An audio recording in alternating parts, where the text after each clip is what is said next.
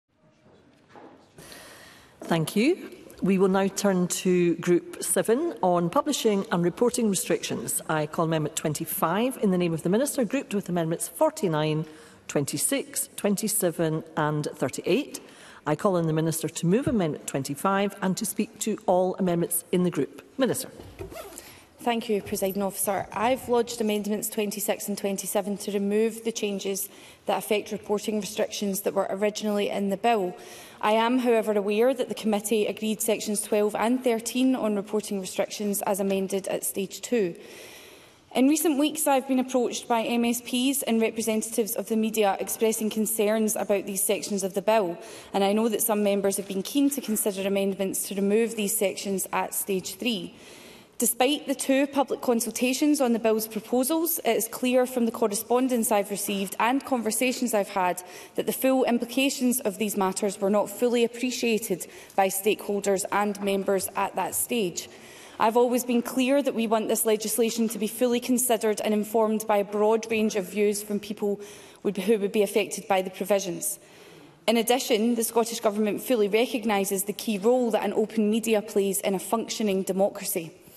Given the short time that was available before Stage 3 deadlines, it was impossible to give these sections of the bill the further in-depth engagement they required, and I've decided that the most prudent course of action is to lodge Stage 3 amendments to remove those provisions from the bill to enable these matters to be considered further out with this bill, and that is what amendments 25, 26, 27 and 38 seek to do.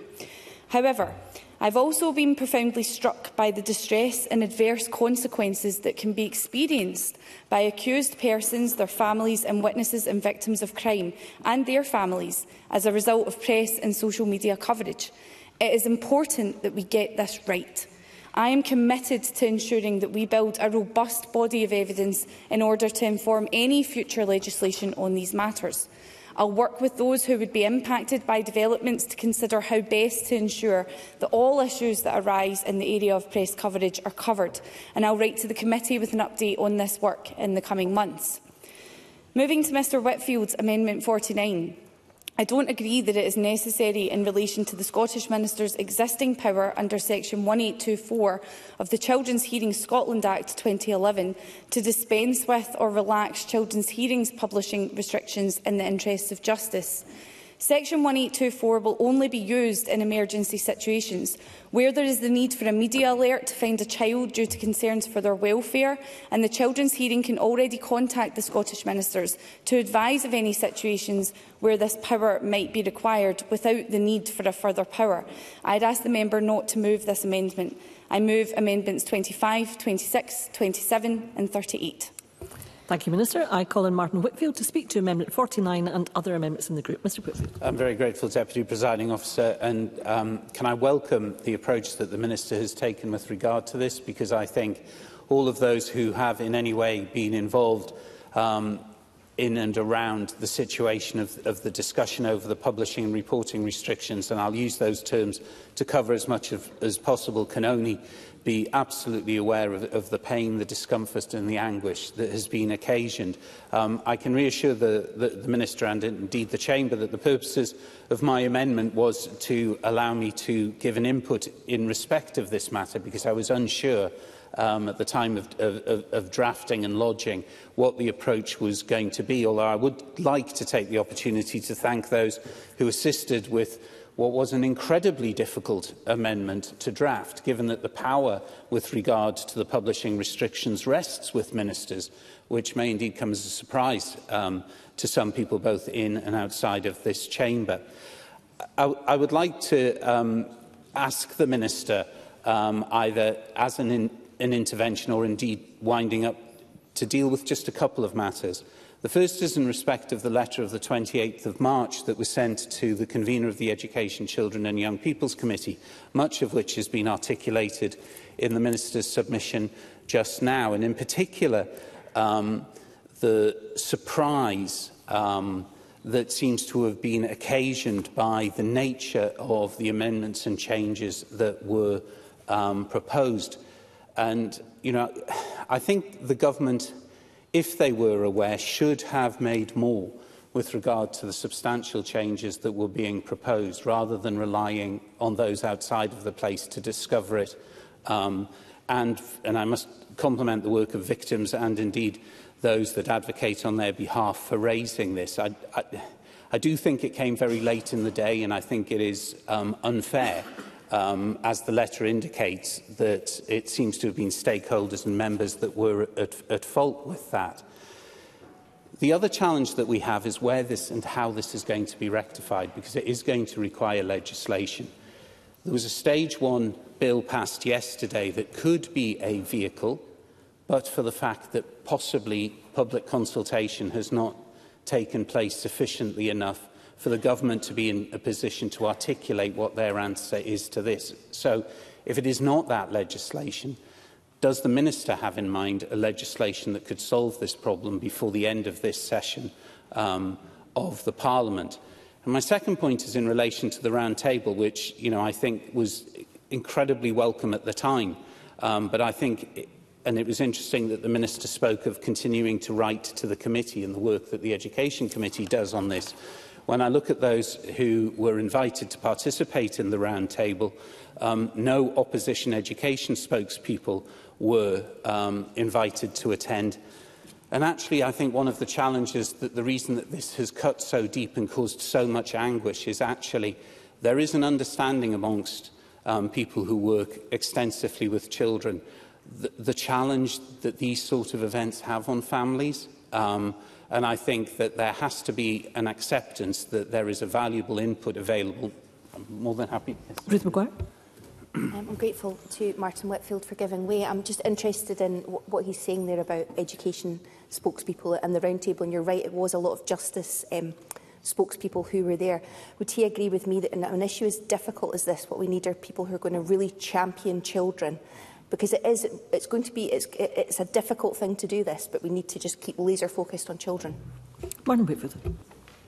I absolutely welcome that intervention I couldn't agree more and, and very articulately put because it is something that specifically affects young people and the family that surround them and the circumstances are incredibly difficult which is why I welcome the very sensitive nature that the minister has taken with regard to this but I would like an, a reassurance from the government that if this matter passes to legislation that will sit with justice, how are the experiences that sit both within this chamber and outside from the point of view of young people that we've just so heard going to take the right level of importance and I know who sits next to the, the Minister for this and um, it is not a got you question or anything this is too important to make a mistake but it will need primary legislation, it will need proper work, it will absolutely need the involvement of young people and indeed families of young people on this. Um, so welcome um, some uh, answers, comments as far as the Minister is able to go today. And on that point, I thank you, Deputy Presiding Officer. Thank you, Mr Whitfield. I call Ros McCall. Uh, thank you, Presiding Officer. Um, we're happy to support all the amendments in this group concerning reporting restrictions uh, which would remove sections 12 and 13 from the bill entirely. Uh, the positions of various members and stakeholders were well articulated at stage two, with pertinent points being raised by my colleague uh, Liam Kerr, also by uh, Willie Rennie. And I'm not going to labour the, the point too much on that.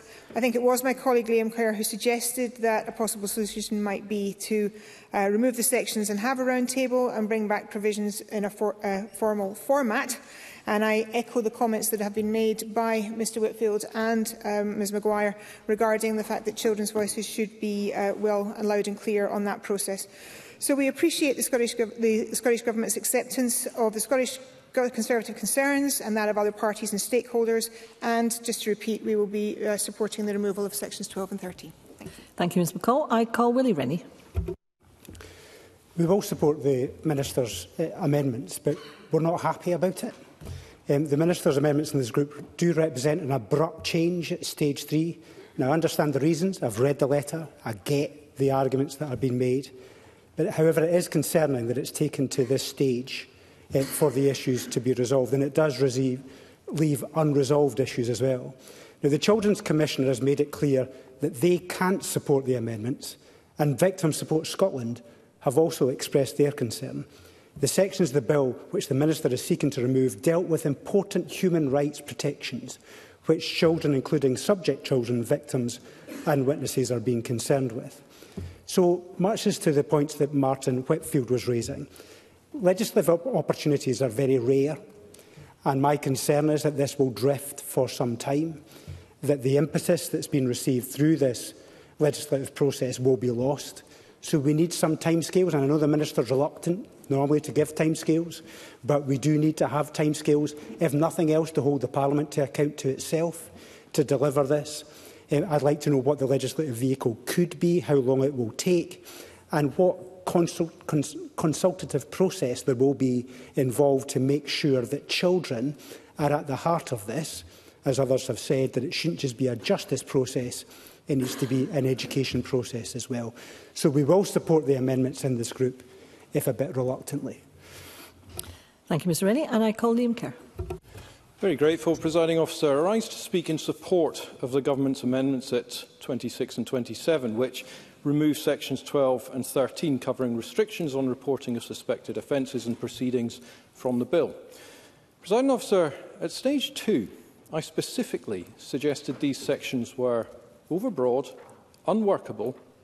and a serious restriction on media freedoms. I flagged that as a result they may be non-compliant with the ECHR and thus potentially put the operation of any final act at risk. A number of stakeholders also raised this in great detail with the Minister, but following stage two, the provisions remained. Now, to the Minister's credit, she engaged with me and other stakeholders following stage two before acknowledging in a letter to the committee that these sections need further in-depth engagement as the matters that we raised were not fully appreciated by stakeholders and members. Indeed, they weren't, presiding officer. I specifically asked the Minister at stage two, does the Minister have any concerns that the amendments could restrict press freedom? To which he replied, quote, no. If there was any danger of that being the case, I would not be taking forward the amendments in their current form. So no, I do not have any such concerns. She also went on to tell me, in a direct answer to my question, that she had specific legal advice on, quote, each of the bill's provisions, which helped her to arrive at those conclusions. Now, having latterly recognised the issues and seeking to amend them out, I understand there may be the possibility of modified provisions reappearing in another bill. And looking back at stage two, I proposed exactly that as a solution, to give Parliament an opportunity for full scrutiny. Now, President Officer, I am delighted that the force of my arguments eventually cut through, but leaving aside for another time more general considerations about legislative scrutiny, I do think it's important to flag this issue, this history, to Parliament, such that if provisions such as these do reappear before a future committee in a bill, Members are alive to, and this time, fully appreciate them and perhaps ask to see the legal advice in order that we do not find ourselves in this situation again. So, presiding officer, the right decision has been reached by the Minister and we will vote for amendments 26 and 27. But I must say, I find it very concerning that it took until stage three to get to this point. Thank you, Mr Kerr. And I call the Minister. Thank you, Presiding Officer. Um, I'll just briefly respond to a couple of the points that have been raised in this debate. I, in, in relation to Martin Whitfield's comments around more could have been done at an earlier point, I mean, I agree to that, with that to a certain extent. I think more could have been done to perhaps flag this to stakeholders prior to this point. But I, I, equally, I don't agree that it should always be on the government's back to, to flag these, these things. And uh, just in relation to Liam Kerr's comments, you know, at stage two, I had not had the interaction or the concerns brought to me from the press um, around these amendments. Now, in terms of other avenues, there may well be a, a Year 5 bill that could, for example, be an avenue for this. I'm, I'm, I'm, sorry that I'm not able to confirm that at this point, but of course I'll, I'll be keeping members and Parliament updated on this. Because remember, of course, we've got other legislative changes in this space that will be required, for example, children's hearings redesign. So that will be something that, that will be going forward. And I'll take members' views or suggestions on the process going forward for this. I want to be very, very clear that, in my eyes, young people should absolutely be at the core of this. We need to understand the impact that this has on our young people. So all in all, I think, although for some perhaps different reasons, I think we're all in agreement here um, and we'll, we'll move forward with this as such. And I'll move the amendments.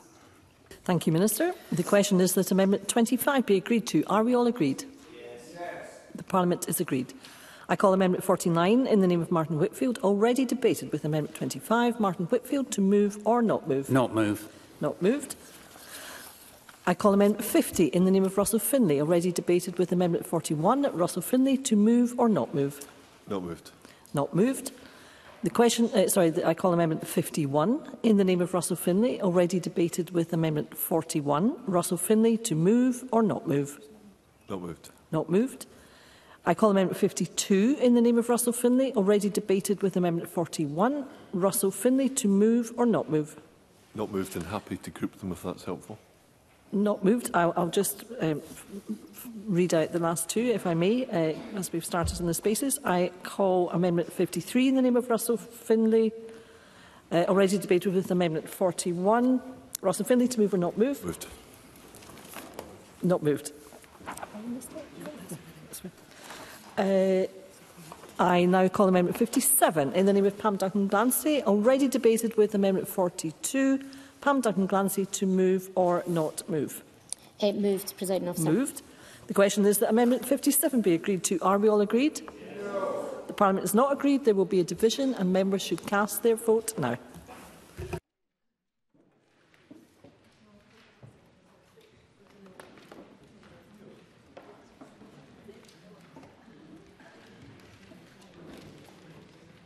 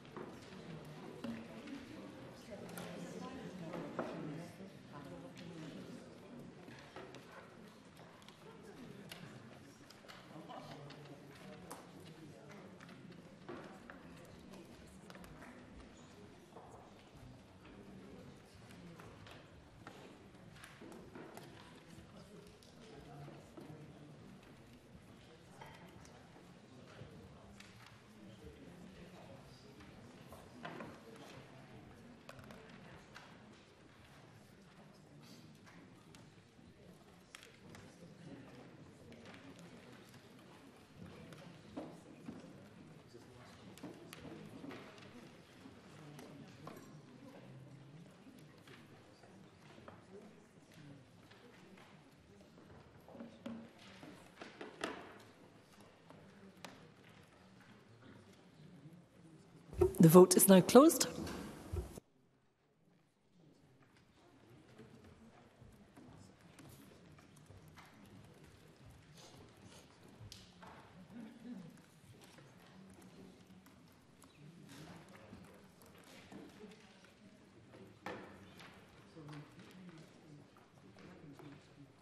The result of the vote on amendment number 57 in the name of Pan Duncan Clancy is yes, 48 no 63. There were no abstentions. The amendment is therefore not agreed.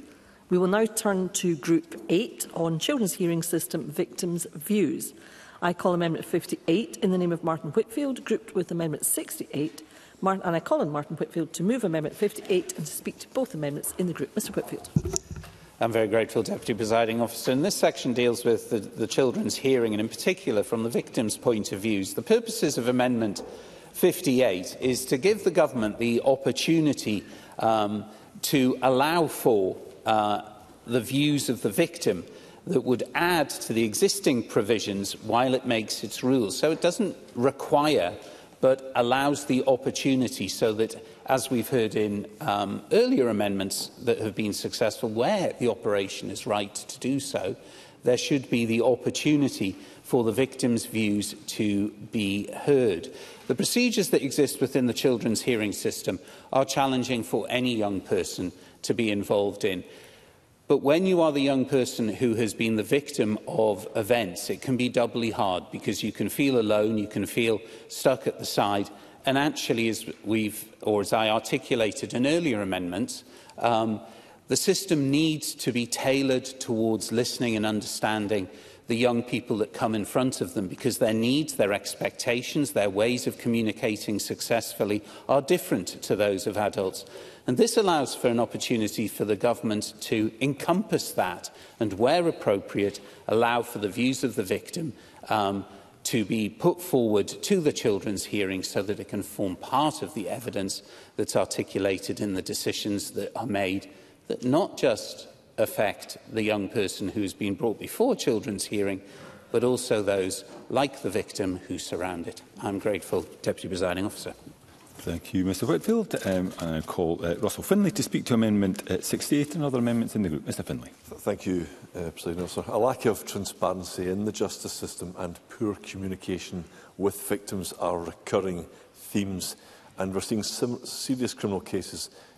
being increasingly referred to the children's panel, and that will inevitably increase by raising the age from 16 to 18.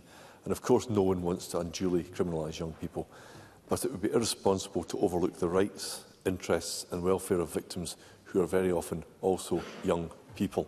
And I've spoken to victims of all ages who have suffered great distress when they discover that the young person who committed a crime against them will not go to court.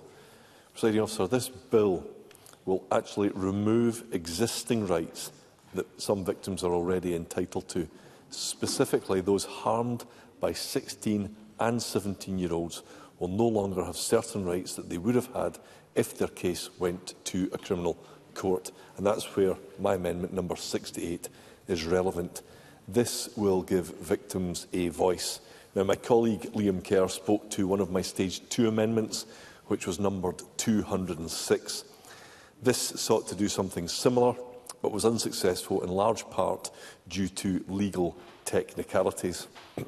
in short, I had then tried to use victim impact statements as a vehicle for this, but these are not transferable from a court to a panel context. So Amendment 68 would instead allow victims to make a personal statement to the Children's Panel. The principal reporter would be required to provide any victim with the opportunity to make a statement explaining how the offence has affected them. Now, if the government is if intent in effectively downgrading some crimes by diverting them from courts to children's panel, they must pay heed to victims. A victim's suffering is not in any way lessened because someone in the system decides the perpetrator is too young to face criminal justice consequences.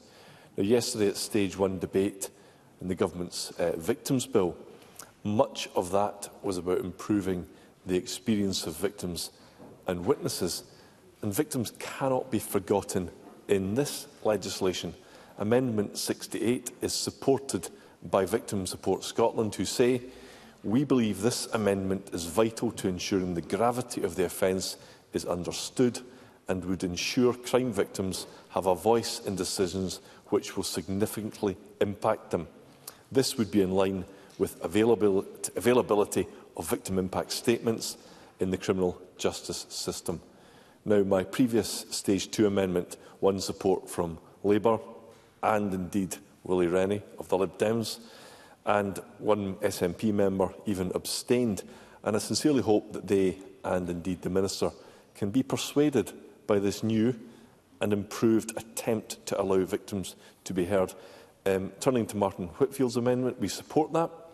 It's similar in its purpose and intent to what our amendment does, but I do believe that ours is a little bit more detailed in how that can be achieved.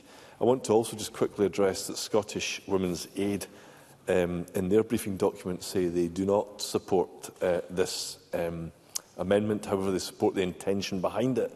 But upon reading their uh, submission, I'm not entirely sure if they have particularly understood that this is about uh, victims of all ages. It's not, it's not exclusively about victims who are also children.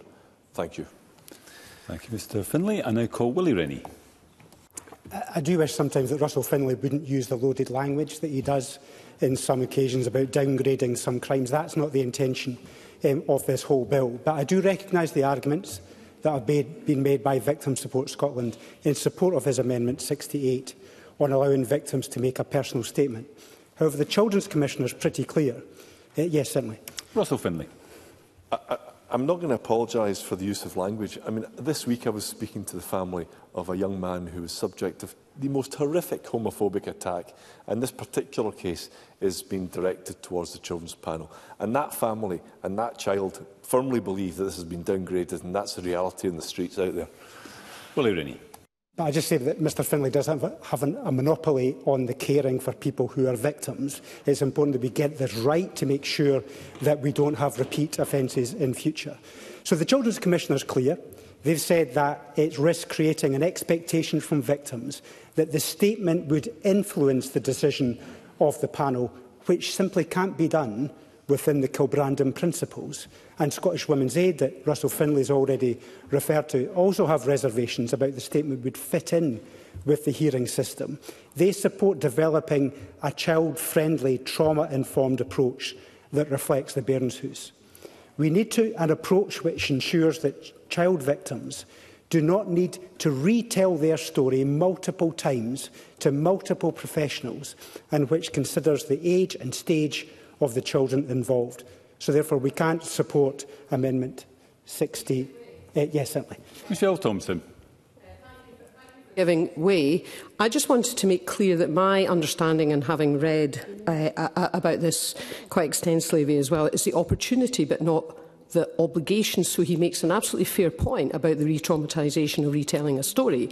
But if that is what a victim wishes to do and feels very strongly about, then it's the opportunity but not the obligation. Willie Rennie.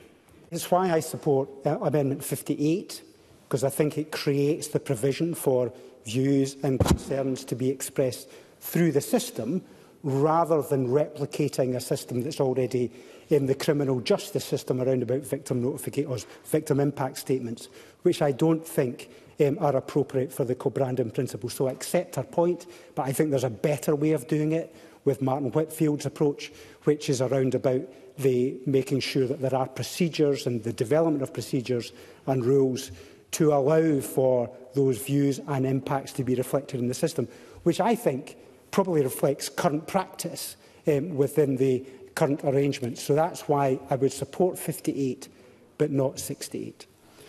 Thank you. And I call the Minister. Thank you, President Officer. These amendments appear to place victim impact type measures directly into decision making in the children's hearing system, and to do so would be potentially re traumatising and misleading for victims. And in addition, the amendments fundamentally misconstrue the hearing system welfare based approach and the focus of decision making. Now, again, I'm quite disappointed by Russell Findlay's tone. I don't agree that we are downgrading crimes by referring to the children's hearing system. We must remember that the Lord Advocate retains responsibility and independence for prosecutor prosecutorial decisions, any child referred to a hearing on offence grounds will have been diverted to the reporter following a joint referral discussion in line with the Lord Advocate's guidelines and prosecution policy. There will therefore already have been independent professional consideration on whether the child's offending merits a prosecutorial or a welfare-based approach. Similarly, a court will not remit a case to a children's hearing for, disposable, for disposal where a criminal justice sanction rather than a welfare-based disposal is the most appropriate. Given the application of the welfare approach in this context, it would not normally be appropriate to veer back towards a criminal justice system approach as opposed as proposed by the amendments. A hearing should not routinely be required to gather the views of victims nor to take their views into account in making their decision. The hearing's focus must be through the lens of considering what compulsory measures are necessary to safeguard and promote the referred child's welfare, except for very clear and limited public safety requirements. In so doing, it can include any measure necessary to prevent the child from causing any further harm to others. Under procedural rules, it is already open to the hearing to require the reporter to obtain any report from any person which the children's hearing considers would be relevant to any matter that the hearing will determine. The, ne the necessity of any report like that is best left with the independent tribunal in individual cases. In prosecuted offence cases where a person has been given the opportunity to give a witness statement, the court will already have access to that in making their earlier decision on whether to remit the case to a hearing for disposal. To change the ethos of the hearing system in the manner proposed by Amendment 58 and 68 would introduce incoherence and unfairness. It would not be fair to victims to indicate to them that they could expect to influence a more intrusive or retrib retributive response to a child from the hearing That would not happen. Imposing further expectations and potentially reintroducing trauma to them would require strong justification. And as I've explained, I find no, just, no such justification here. In addition, it would be difficult in practice in the context of a children's hearing to be able to seek views of a victim without causing to delay to the progress of the child's case, taking the focus away from swift decisions to safeguard and promote the welfare of the referred child and to promote public safety. In the same way, for Amendment 68, It would not be appropriate for the principal reporter to be required to give a victim the opportunity to provide a personal statement where a child's case has been remitted by the court for disposal. It would not be relevant for the hearing's decision. In exceptional cases where a hearing may decide that further information, including from a victim, is needed in the form of a report, I will take the intervention. Russell Finlay. I understand it correctly, is the Minister saying that it would not be, the phrase was, it would not be relevant to hear from a crime victim in that context. Minister. If Mr Finlay had let me finish, I'm saying in exceptional cases where a hearing may decide that further information, including from the victim, is needed in the form of a, of a report, they can already secure that. Wholesale prescription of that approach would be inappropriate. The Government cannot, therefore, accept these amendments. Thank you. And I call Martin Whitfield to wind up, press the withdrawal amendment 58. Mr Whitfield. Um, I'm very grateful, Deputy Presiding Officer, and I'm slightly disappointed at the government's approach to this because the amendment isn't a requirement. The amendment allows for the provision of, which is something that the Minister has articulated can exist if internally within the panel it is being sought. This would put that into guidance so that there would be reassurance not just across this Parliament but across Scotland that actually there isn't a postcode lottery um, in relation to the children's hearing, but there is a basic formula in the system that people can rely on, people can um, look to to ensure they understand what's happening. So under the circumstances, I will push Amendment 58. Thank you. The question is that Amendment 58 be agreed. Are we all agreed? Yes. Parliament's not agreed. There'll be a vote and members should cast their votes now.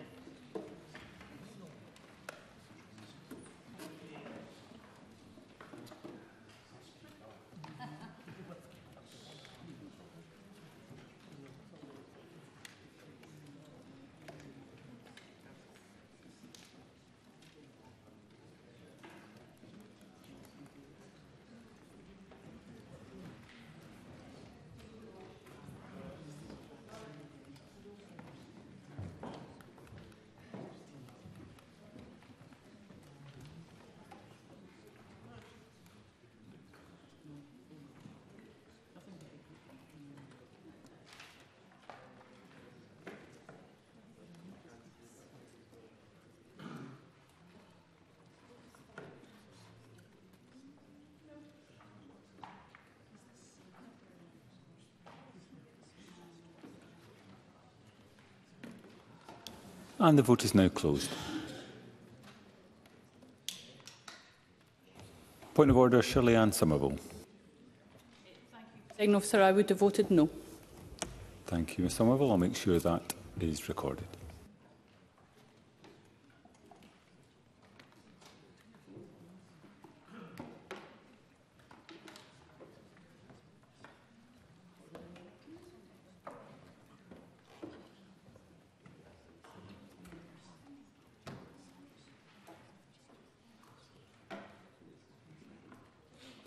And the result of the vote on amendment number 58 in the name of Martin Whitfield is yes 48, no 64. There were no abstentions. The amendment is therefore not agreed. We turn now to Group 9, Legal Aid. I call Amendment 54 in the name of Pam Duncan Glancy, uh, grouped with Amendments 55 and 56. Pam Duncan Glancy to move Amendment 54 and speak to the other amendments in the group. Thank you, Deputy President Officer. As I've set out already, Scottish Labour have paid close attention to recommendations of various reviews, including that, again, as say, um, from Sheriff Mackey, whilst forming our approach to the bill. The report highlighted, Mr Mackey's report highlighted the importance of children being fully informed of their right to legal representation and the need to revisit how the right to legal support is upheld. Both things I'm supportive of and seek to move towards via the amendments in this group today. Children entangled in the children's hearing system may come from diverse socioeconomic backgrounds or difficult family circumstances. Legal aid levels the playing field by addressing inherent inequalities and ensuring that every child has the means to present their case effectively and comprehensively and understands fully the processes they're involved in. This inclusivity is aligned with the principles of justice and fairness that underpin the legal and the children's justice system. Many, including the Children's Commissioner, have consistently called for extension of legal aid to include children referred to a hearing in all circumstances, and the UN Committee on the Rights of the Child has made several recommendations to this effect, most recently in their 2023 concluding observations. That's why I lodged amendments at stage two of the bill for any child referred to a hearing, including those referred on welfare grounds, to be entitled to automatic legal aid. However, the government stated they were unwilling to broaden the scope of automatic entitlement to this extent. And so I believed it likely that returning the same amendment at stage three would fail to gather the necessary support. I do, however, remain of the view that it is absolutely essential in order to protect the rights of children and young people that any child that could either be found guilty of an offence or admit guilt to an offence should have the right on the basis of the potential impact on their life. Even in such an event that a conviction will cease to be disclosed in the future, it would remain on internal police systems and be subject to advanced disclosure checks. I believe that without amendment, this bill will fall short of the UNCRC compliance on the issue of legal aid and that automatic access is the only way to meet the procedural requirements of Article 40 and ensure that all children have access to effective legal representation free of charge. The notification method currently used is not and cannot be improved to meet this duty. Currently, only 25% of children who have been referred to a children's hearing on offence grounds have a solicitor. This is in stark contrast to the figures mentioned by the Minister during Stage 2, which relate to the number of children who apply and are then granted legal aid. Whilst the number who apply and are granted is high, it is related to those children who had the knowledge that they could instruct a solicitor. 99% of applications might be granted, but if only 25% of children know that they can instruct a solicitor, then the duty under Article 40 is not met. And so Amendment 55 in my name calls for legal aid to be automatically available for all children referred on an offence ground by means of that entitlement being made clear on the face of the bill. Amendment 56 seeks to do the same, but allows the Government to introduce that entitlement via regulation as Section 28C, subsection 3 of the Legal Aid Scotland Act 1986 provides for. The Government has given previous reassurance that it intends to bring those regulations, but an issue of such importance, I believe, cannot be left to good faith, and so I would like to see the commitment secured in legislation, either by support for it on the face of the bill or support for the regulatory power to be on this bill. Members will note that my Amendment 54 is slightly narrower in that it would only make provision for legal aid to be automatically available to any child reported to both the Procurator Fiscal and the Children's Hearing System.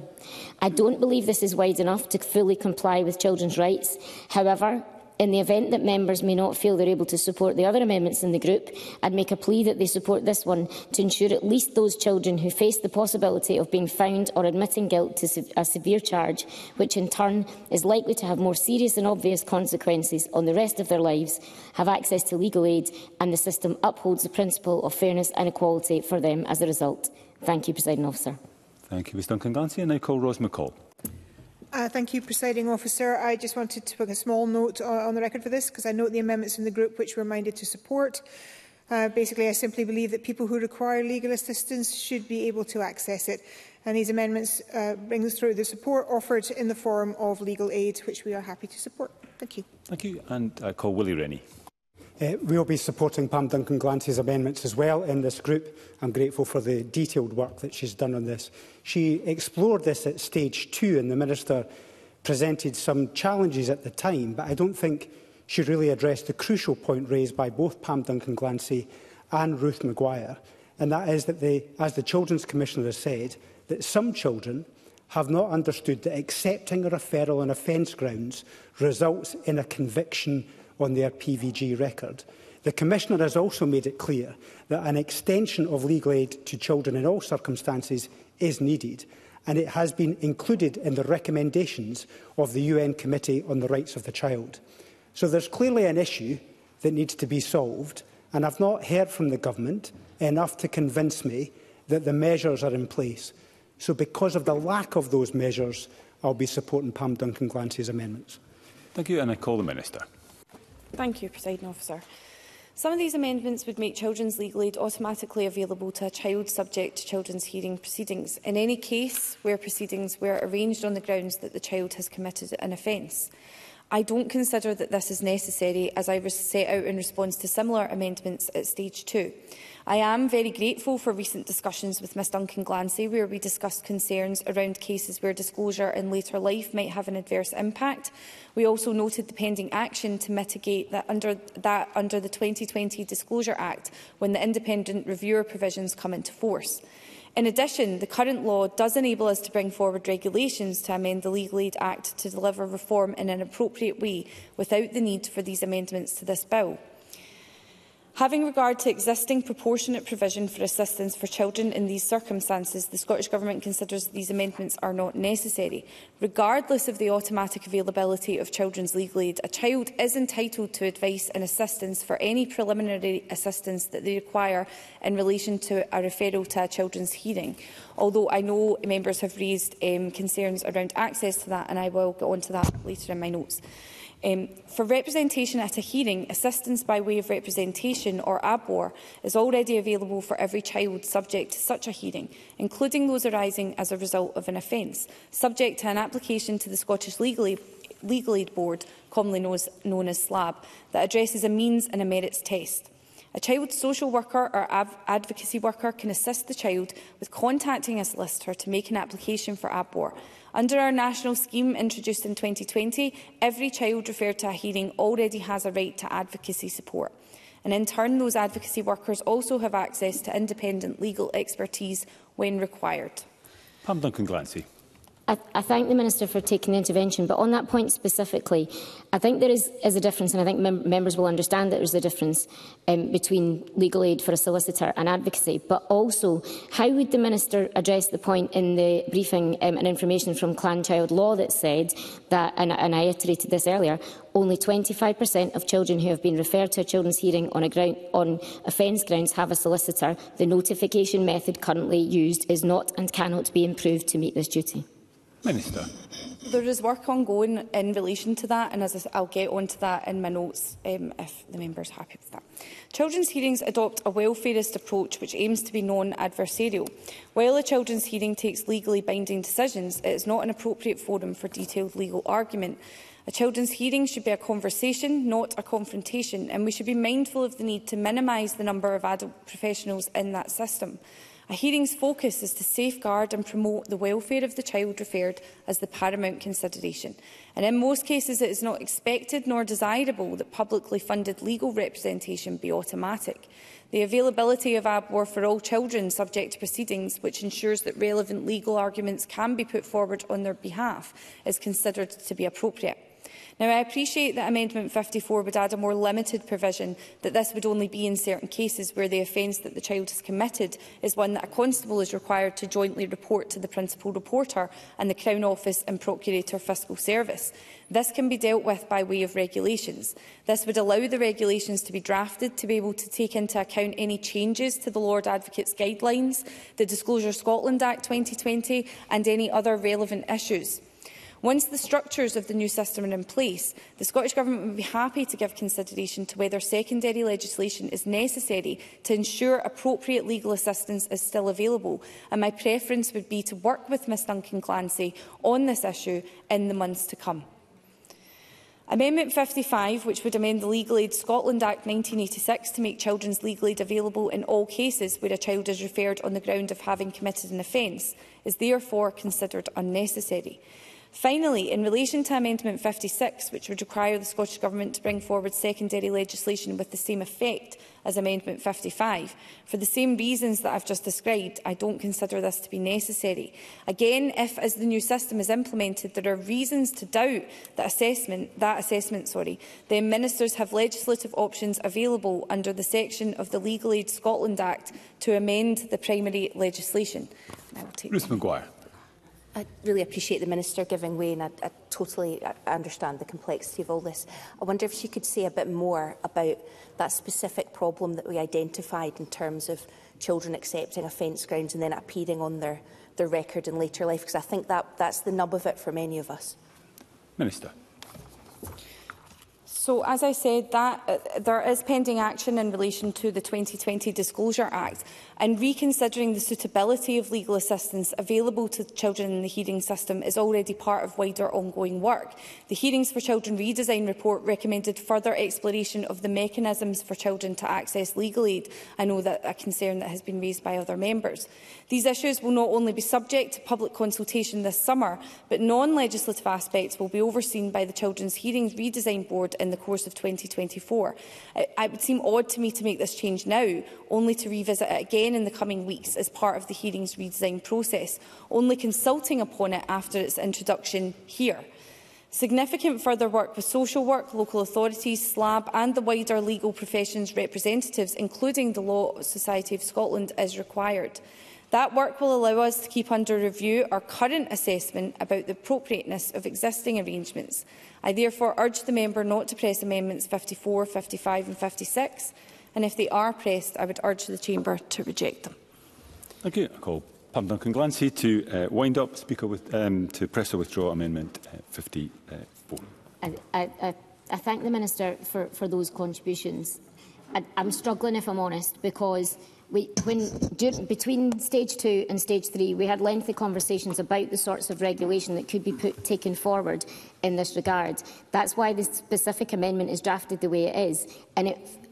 I, I get the sense that the, the, the Minister is saying that it's now no, no longer necessary. On the point about um, offence grounds not being on a disclosure in future, and I take the point about what's happening um, at a date again in the future, um, on what will appear. But as I raised with the Minister between stage two and stage three, it's not, and I said on the record a moment ago, it's not just about what appears on disclosures, it's also about the cumulative thing that would appear on someone's police check. And I think if that comes up, then it could have a significant impact on children and young people's uh, lives as, as they grow into adulthood. I think it's important for members to remember that the, the, the, the increase in age will, will come with it a difference in profile. And I think most members can accept that. For that reason, I think it's incredibly important that all of the children in the system, all of the people going through it, have access to legal aid, specifically um, on, the, on the basis of an automatic um, uh, right and basis um, for, for legal aid, which is why I brought that amendment. Um, I, I also um, said that, uh, that it would be important to do it on the face of the bill, and I'm a bit, a bit disappointed that the the Minister says that we might that there could be an opportunity for the government to bring it in um, subordinate legislation. There is an opportunity now to do this on the bill in front of us. And if the Minister is concerned about other things that might happen or need to happen first, then I would suggest that the sequencing of this bill was something that the committee highlighted and could have been addressed um, because we, a number of members and a number of witnesses indicated certain sequences would have to happen in order for this to be, to be done properly. I would suggest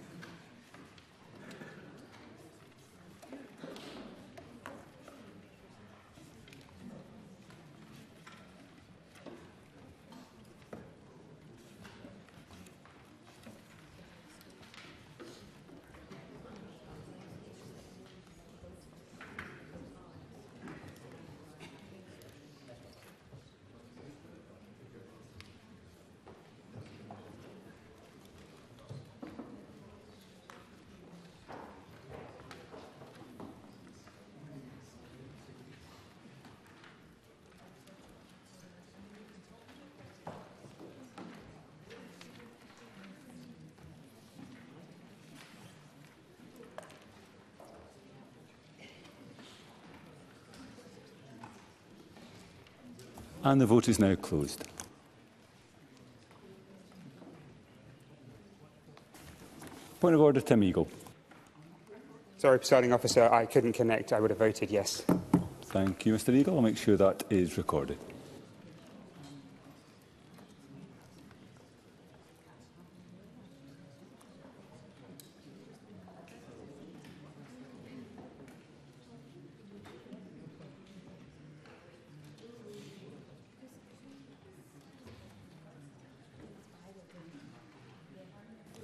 And the result of the vote on Amendment 54 in the name of Pam Duncan Glancy is yes 46, no 64. There were no abstentions. Uh, the amendment is therefore not agreed. Uh, I call Amendment 55 in the name of Pam Duncan Glancy, already debated with Amendment 54. Pam Duncan Glancy to move or not move? Moved. Uh, the question is that uh, Amendment 55 be agreed to. Are we all agreed? No. Parliament is not agreed. There be a division and members should cast their votes now.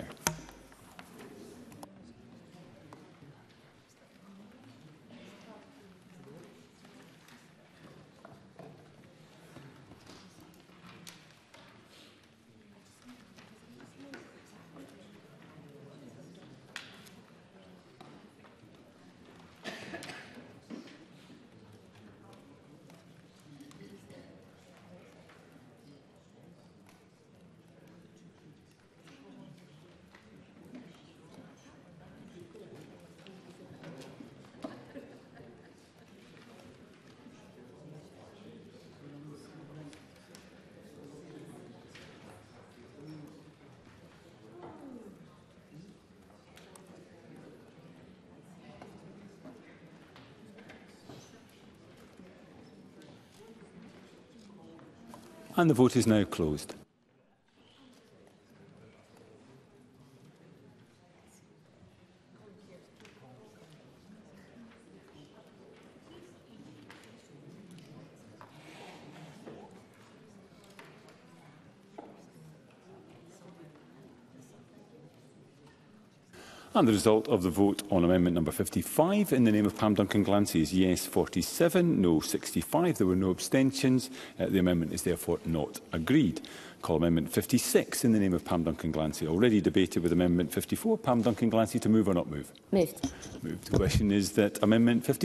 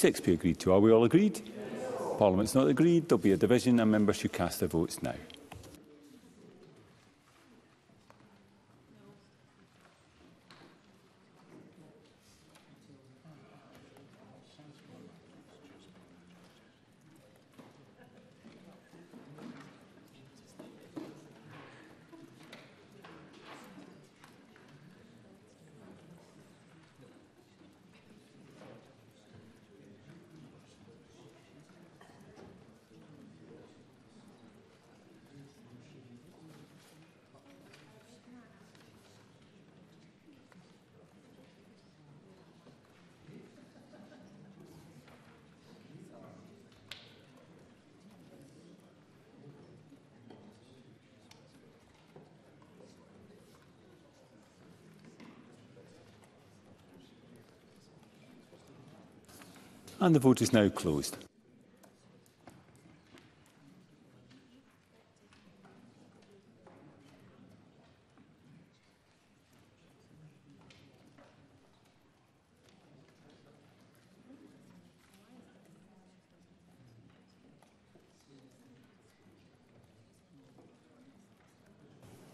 And the result of the vote on Amendment 56 in the name of Pam Duncan Glancy is yes at uh, 46, no 65. There were no abstentions. The amendment is therefore not agreed.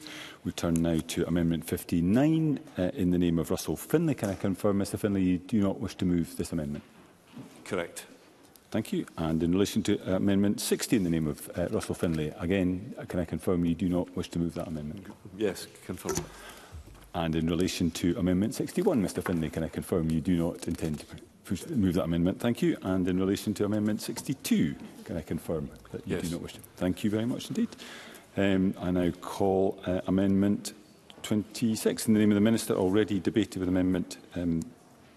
28. Minister to formally move. Moved. Okay, the question is that Amendment 26 be agreed to. Are we all agreed? Parliament um, is agreed. I call Amendment 27 in the name of the Minister, already debated with Amendment uh, 28. Uh, Minister, to formally move. Moved. Thank you. The question is that Amendment 27 be agreed. Are we all agreed? Yes. That is agreed.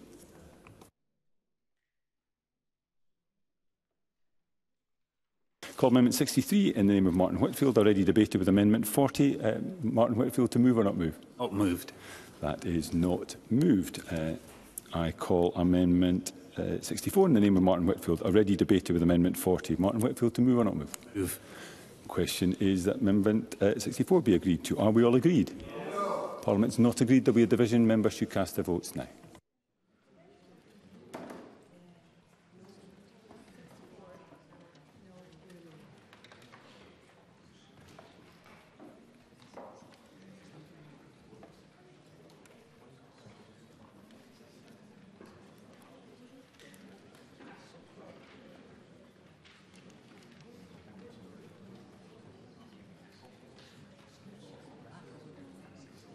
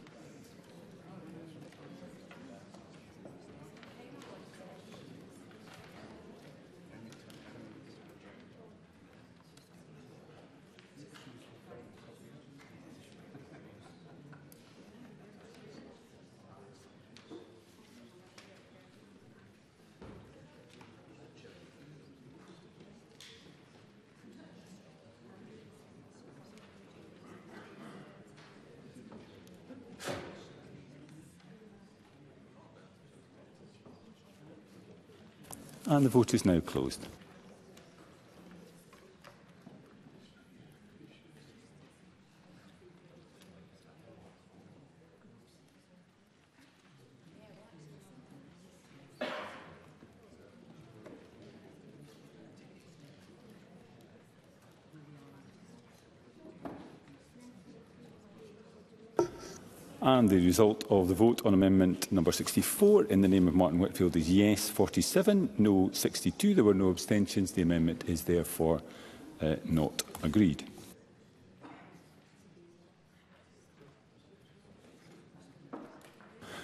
Call Amendment 65 in the name of Martin Whitfield. Uh, already debated with Amendment 40. Martin Whitfield to move or not move? Move.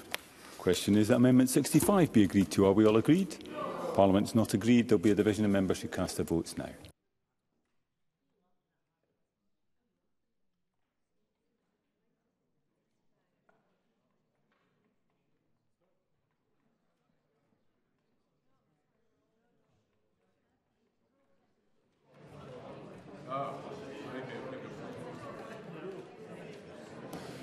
delay in open the vote. Um, it should now be open.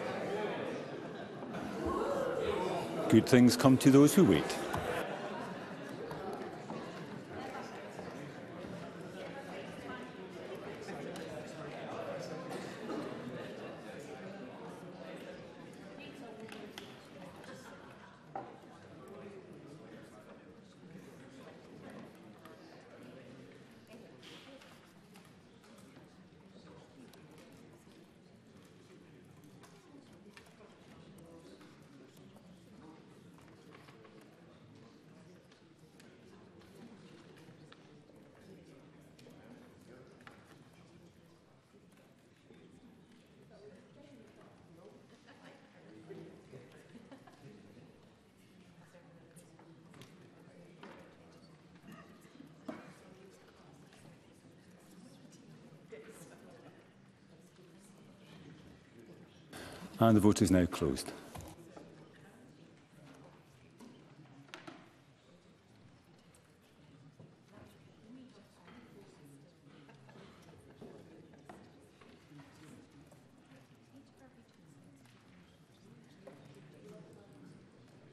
And the result of the vote on amendment number 65 in the name of Martin Whitfield is yes 47, no 65. There were no abstentions. The amendment is therefore not agreed. I call amendment 66 in the name of Martin Whitfield. Already debated with amendment 40. Mr Whitfield, to move or not move?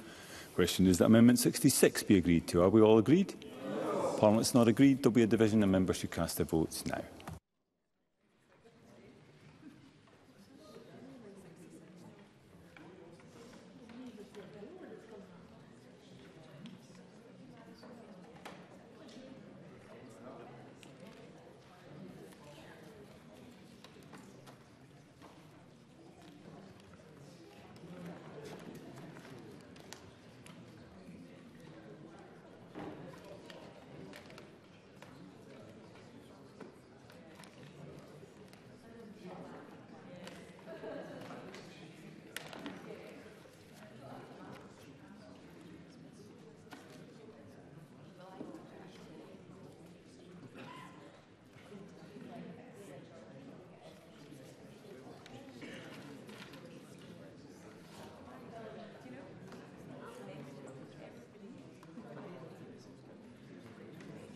and the vote is now closed.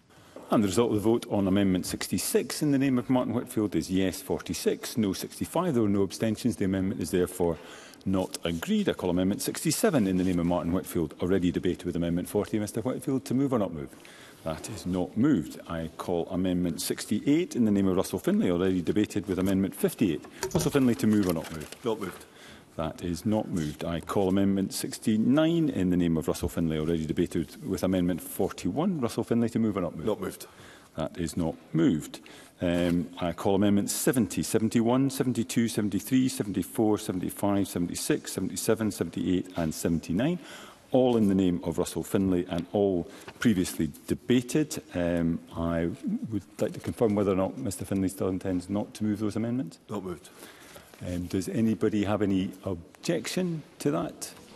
There is no objection, so I can confirm for the record that the following amendments in the name of Russell Finlay are not moved. 70, 71, 72, 73, 74, 75, 76, 77, 78 and 79. That takes us on to Group 10, reporting requirements and information collection. I call Amendment 80 in the name of Martin Whitfield Group with Amendments 81, 85 and 86. Martin Whitfield to move Amendment uh, 80 and speak to the other amendments in the group. Mr Whitfield. I'm very grateful, Deputy Presiding Officer. We move to one of the sections that has been hinted at, pointed at and signposted at throughout this afternoon, which is regarding the information that should be collected that could be collected and that in a number of these amendments I suggest it is the Scottish Government's responsibility to ensure that it is collected so that we can make assessments as to how well the system is working, what the experience of children and young people travelling through the system, irrespective of why their referral to the system is there, so that we can, with legislation that is forthcoming, not least of all the redesign bill, not least of all the promise bill, which in all likelihood will come to us in the very near future, we can actually use objective evidence to see what the experience of people who interface with um, these systems are. In the first case, my amendment number 80 will require the government to carry out a review on the initiatives to support referral of children alleged to have committed offences through the restorative justice system and to report on this in a review. Amendment 81 will require the Government to report on the use of alternatives to detention for children convicted of an offence and, on the, and on the support that those children received for the re rehabilitation and reintegration. Amendment 85 will require the Government to carry out a review of the information required to be collected to monitor the operation and impact of the Act and consider the outcome and characteristics of the children who've been referred to hearings and indeed convicted of offences. And the final one in this section, 86, Amendment 86, will require the government to publish a report on the outcome of children referred to hearings of children convicted of an offence, including information on the characteristics, the provision of social work services to those children, the number reoffered on offence grounds and the number convicted of an offence that go on to reoffend the outcome for those on CSOs with MRCs and CSOs who are referred to a secure care. The reason for this is that the actual objective data um, that is in existence is incredibly challenging to bring together. It sits in a number of different areas at the moment, and there is nobody with a responsibility to bring that together so that it can be available when we come to not only monitor how successful changes um, that are proposed within this bill uh, bring about, but also to provide us with the objective evidence that is genuinely needed in the design. We've already heard in a number of interventions and in previous um, amendments proposed that the lived experience of those who go through this system is incredibly, impo incredibly important. The human rights, the children rights of this require, the welfare of our children require this to be the case. And if we are to positively look forward in the future to a redesigned system that reflects the needs of those who interface with it, along with the basic assumptions and strategies that we call for with regard to our young people and children growing up in Scotland This data is crucial, and we can't be confronted with the challenge that has existed throughout the journey of this bill that actually the figures are not known. The figures are unavailable. They sit somewhere else. And on a number of times that questions about data collection has been raised, the government have pointed to various bodies that are responsible for doing it. This is an opportunity for the Scottish Government to um, step up to its responsibility of understanding what the journey of our young people is like throughout their um, formative years, and particularly those particularly those that come with certain characteristics, particularly those that have uh, return to the system to better understand why that's happening, how that's happening, and indeed how we can carry on to make Scotland the best place for young people and children to grow up, even those who interface with the children's hearing and the justice system. I'm grateful, Deputy Presiding Officer. Thank you, and I call Ros McCall. Thank you, Presiding Officer. I note the amendments within the grouping and uh, we'll be supporting amendments of 81, 85 and 86. I've already mentioned it's important that we have a continual assessment on this process with continual review and reports brought to Parliament. This will ensure that the Government is able to appropriately respond to any gaps identified and issues surrounding victims' rights. We believe it's vital that victim experiences of the system are understood and responded to, and then that any impact on the fulfilment of victims' rights is clearly identified. And unfortunately, we cannot support Amendment 80.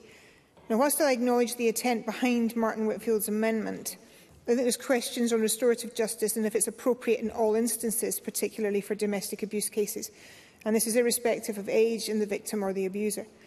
Domestic abuse, coercive control, intimate partner violence are not one-off events but a course of conduct whose frequency and severity can escalate over time and reach across private and public spaces.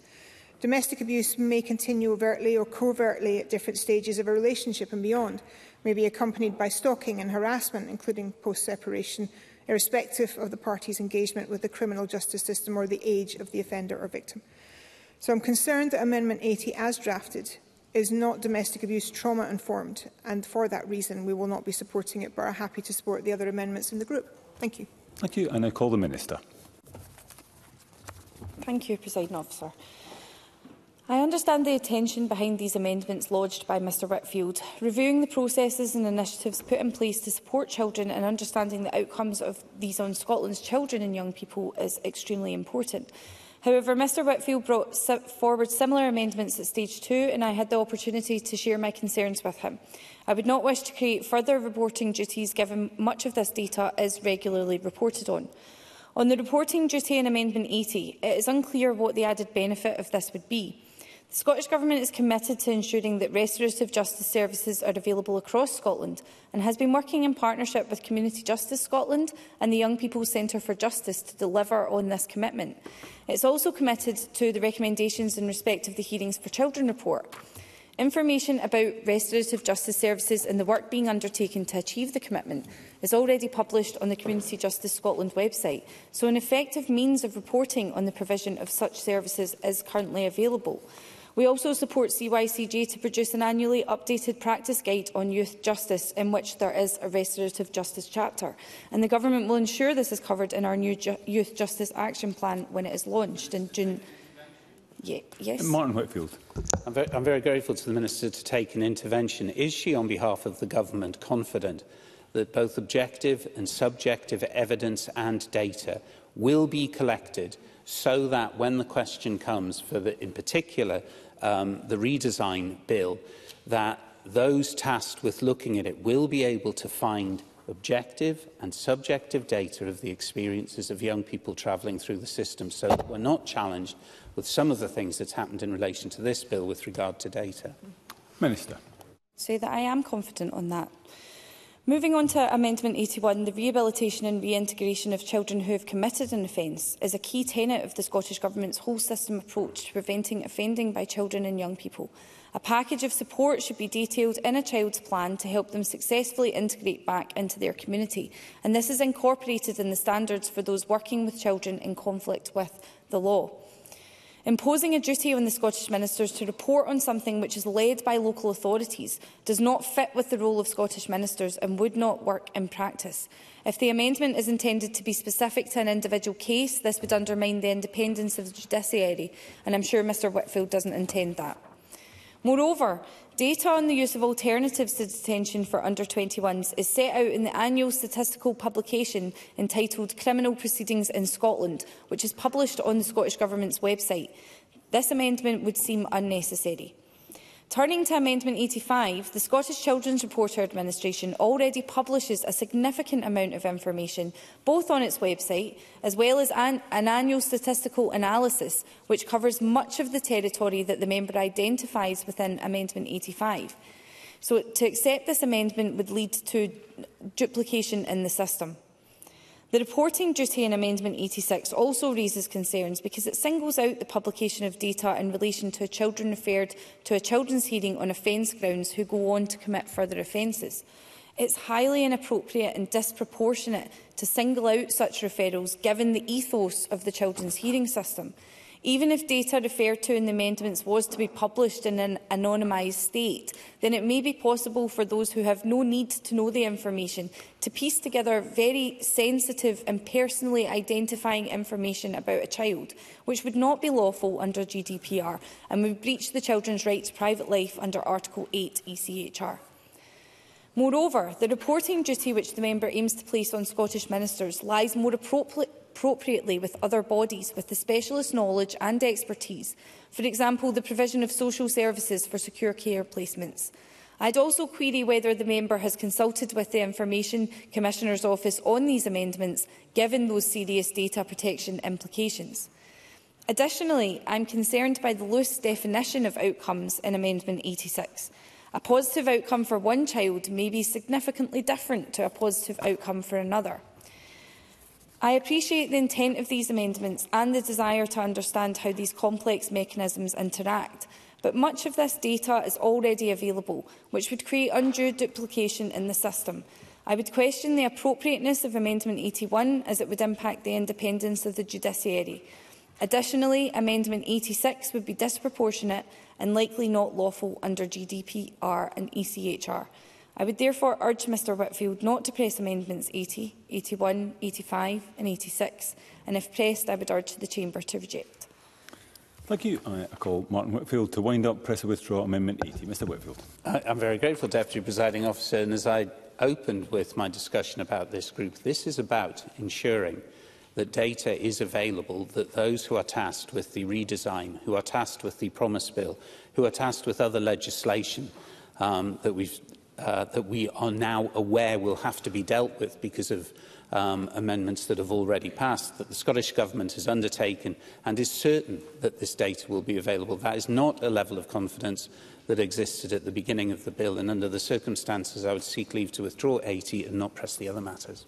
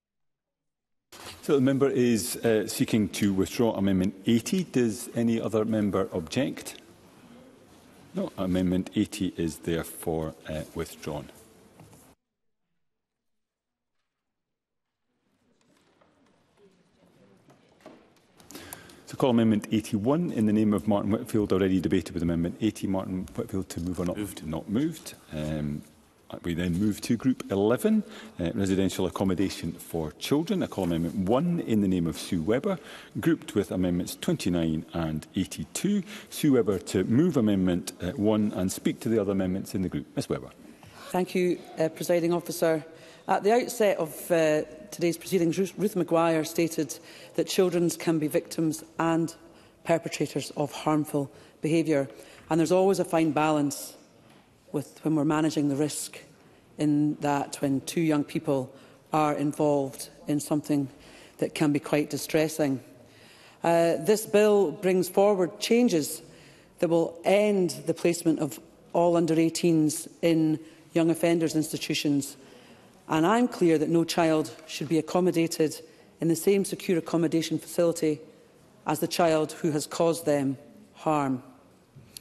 I recognise that all children in secure accommodation are vulnerable and that protections must be in place for their safety and that reassurance must be given that those protections are in place. Amendment 1, which I've brought forward today, would mean that before approving a secure accommodation service, the Scottish Ministers would need to satisfy that the service can ensure no child will be placed with another child in particular circumstances.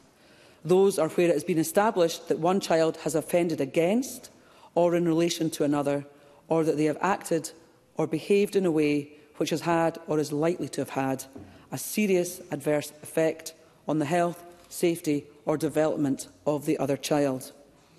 I want to thank the Minister for productive discussions that we've had following me bringing forward a quite simple amendment at stage two, which was uh, rejected. But what we've got here today is something we've both worked together with to make sure that this, these things go forward. And I am aware that there are processes in place for the appropriate placement of children in secure accommodation and that in practice no child who has committed an offence or harm against another child would be placed in the same facility as that child. However, it was really important that my amendment provides the reassurance on those processes, as followed by the Secure Accommodation Services, and ins ensures that Scottish ministers are satisfied of that approach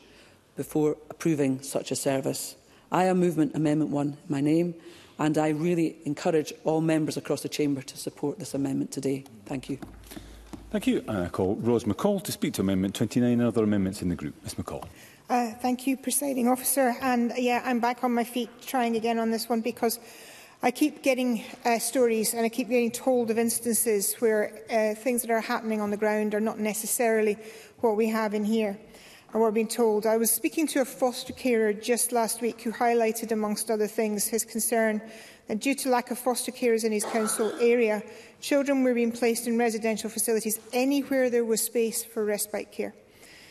Now, this is not the first time I've been advised of this issue, and I know a few council areas have the same problem. And due to issues over a falling number of foster carers in Scotland. Children all over Scotland can be placed out with their council area and in residential accommodation where they would, should normally be placed. They would normally be placed with a foster family locally in normal circumstances. Now, if we add that to reports that I'm getting from people I speak to, care experience leavers, who tell us there's of six situations where they experience within residential settings, children placed in a safe environment, away from home, are then forced to live with other children that are banging on doors, threatening abuse or assault. The care experience community have been asking us to listen to them, stop assuming that we know better and step up and protect them. And this amendment is an attempt to do that. It cannot be right that due to a lack of all-encompassing support at every level, young people have been moved from their homes in an attempt to keep them safe, only to be placed in an alternative living situation where they are unsafe. Now, I've heard the argument that this happens right now. I've heard the argument that it's in place. I've heard the argument that we have robust and secure processes. But care experienced people are asking us to look at this, to change it, and I'm asking members to listen and support them and this amendment. I'm also happy to support Amendment 1 in the name of Sue Webber, and I understand entirely where she's coming from, and I uh, appreciate the work that she's done with the government on that. And we're also supporting Amendment 83 in the name of Martin Whitfield.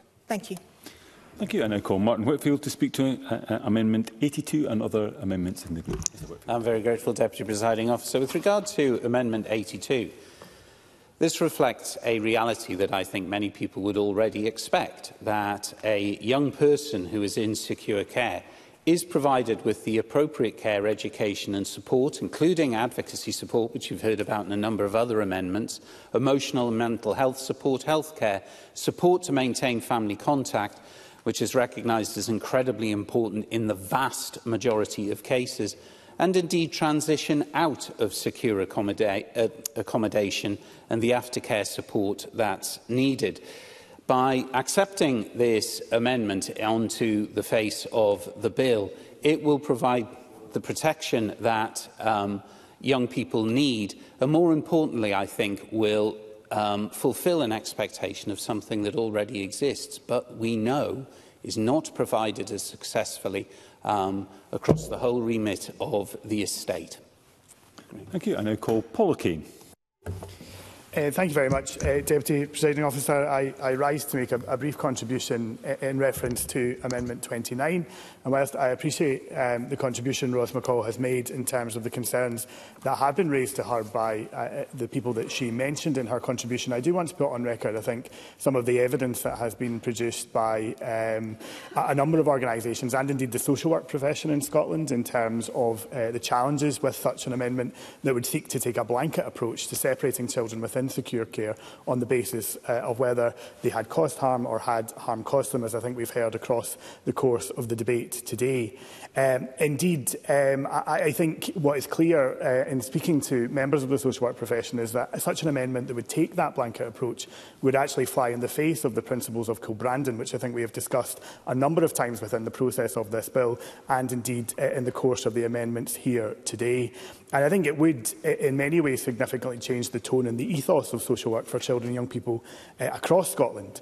Uh, uh and I think the member has outlined concerns about resourcing in local authorities, and I think that is a very key concern, and I think it's a concern that has been repeated across the, the course of the debate today. But I do not believe that the blanket approach, as I have said, is the best way to deal with it. Indeed, I think that the, the um, amendment that's been brought forward by Sue Weber, indeed, I think deals with a, a particular issue and a particular challenge in ensuring that um, there is uh, a safe provision and that that is considered prior to the approval of a secure setting. Uh, I, I wanted to highlight um, the letter that um, CY um, CGS wrote to uh, committee in advance of stage two to point out um, that, that secure care since its inception has provided support, supervision and care to children who have both been harmed uh, and who have caused harm.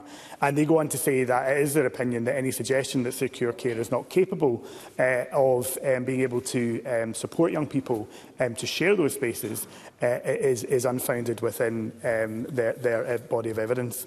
I would also like to just perhaps draw attention of the Chamber to um, evidence that's been provided uh, by the Department of Education in England in their 2021 report, Secure Children's Homes, that's looked at the placing of uh, welfare children who are there on a welfare basis and children who are there on a justice basis uh, together in the same setting. And they found no evidence to support concerns that placing children from justice and welfare systems together in mixed settings uh, causes an increased risk of abuse. So notwithstanding, uh, I think what we've heard about resourcing and the concerns that have been raised raised, which I think are very important and the member is right to raise them, I do have a concern that such a blanket approach would not be appropriate and not in keeping with the Kilbrandon principles, which I think we all want to try and support in this bill. going to call Willie Rennie.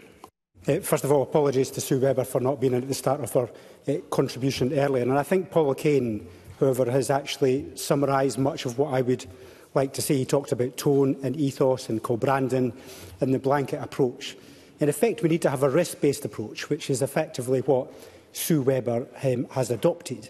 We need to make sure that we trust the professionals who are working in the accommodation, uh, but demand high standards of them at the same time without being too prescriptive. And Sue Webber's amendment that sets out a reasonable condition that children should not be placed together where there has been an offence committed against them on or where the child's conduct is likely to have a serious adverse effect on their health, their safety or their development of that child or another person.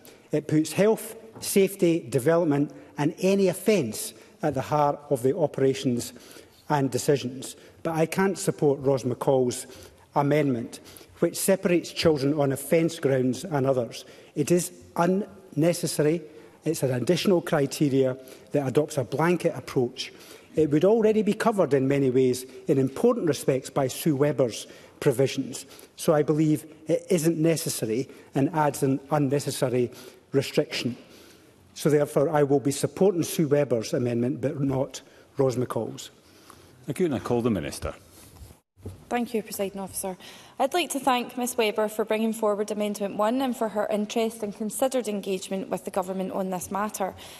As has been mentioned by Ms Weber, procedures are currently in place for the appropriate placement of children in secure accommodation. These manage the needs and risk profiles of each child entering secure accommodation through individualised risk assessments and plans.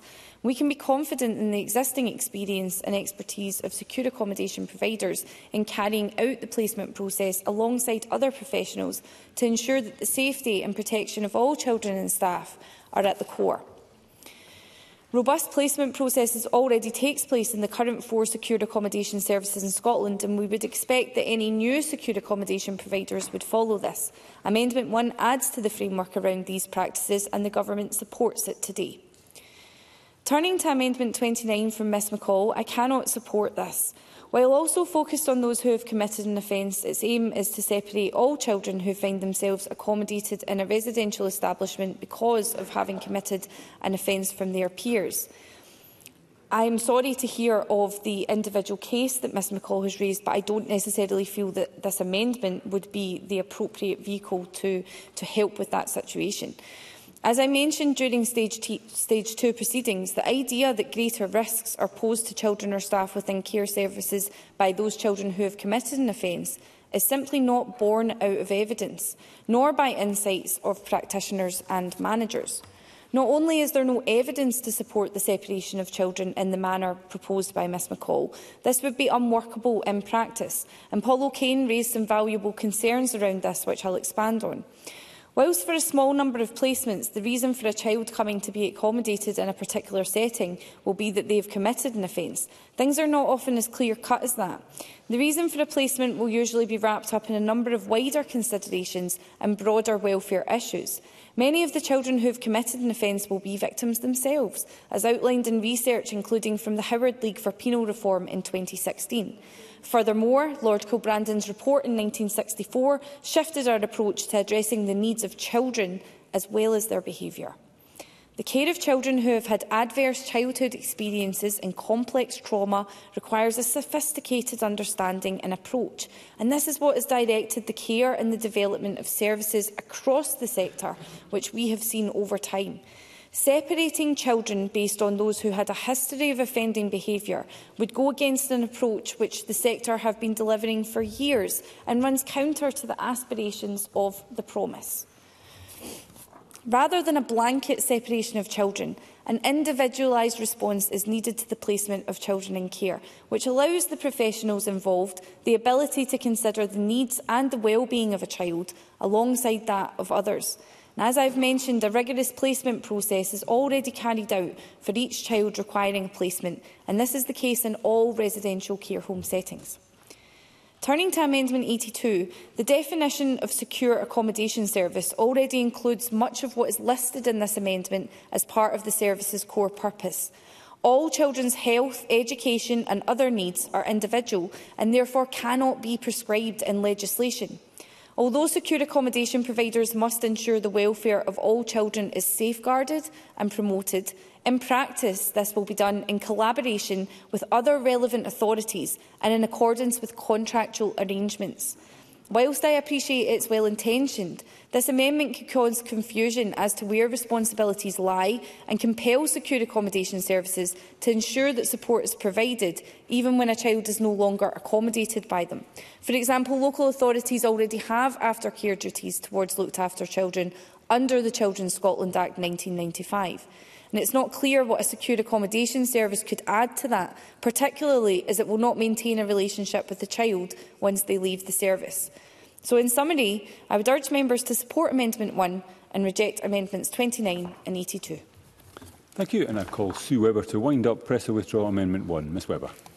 Uh, thank you very much, Presiding Officer. Yes, foster care is of course a preferred option in many of the cases that uh, Ros McCall has uh, discussed this, morning, this afternoon this evening, rather.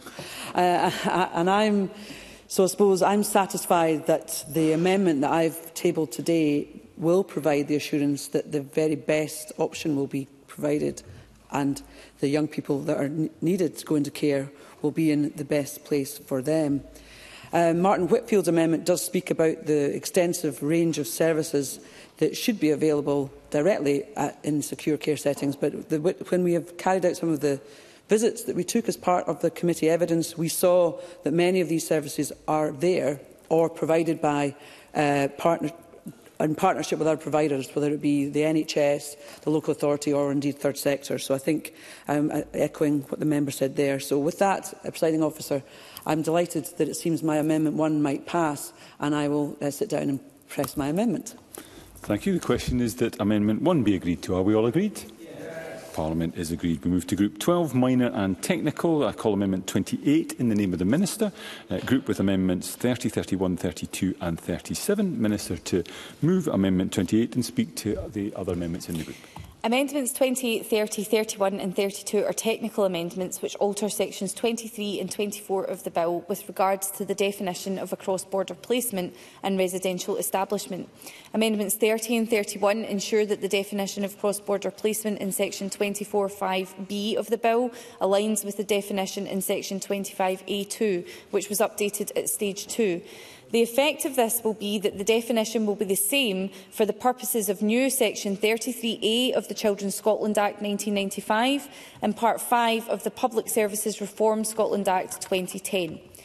Amendment 32 inserts a definition of residential establishment into the relevant interpre interpretation provision in the 2010 Act in consequence of the new cross-border placement definition. Amendment 28 simply cross-refers to that to avoid replicating the definition elsewhere in the 2010 Act. Amendment 37 is also technical. It brings the definition of child in the Age of Criminal Responsibility Scotland Act 2019 into line with the changes being made by the bill to the Children's Hearing Scotland Act 2011 and the Criminal Procedure Scotland Act 95. I move amendments 28, 30, 31, 32 and 37. Thank you. And I call Rose McCall. Yeah, thank you, Presiding Officer. I just wanted to respond, and as most of the amendments in the group are minor and technical in nature, we'll be supporting amendments 28, 30, 31 and 37.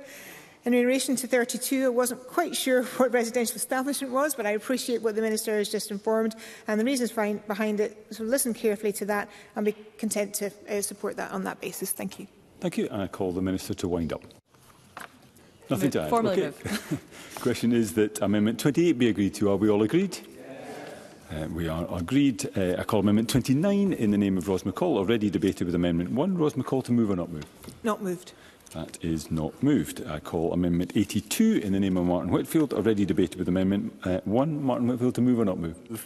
That is moved. The question is that Amendment 82 be agreed to. Are we all agreed? Parliament's not agreed. There'll be a division and members should cast their votes now.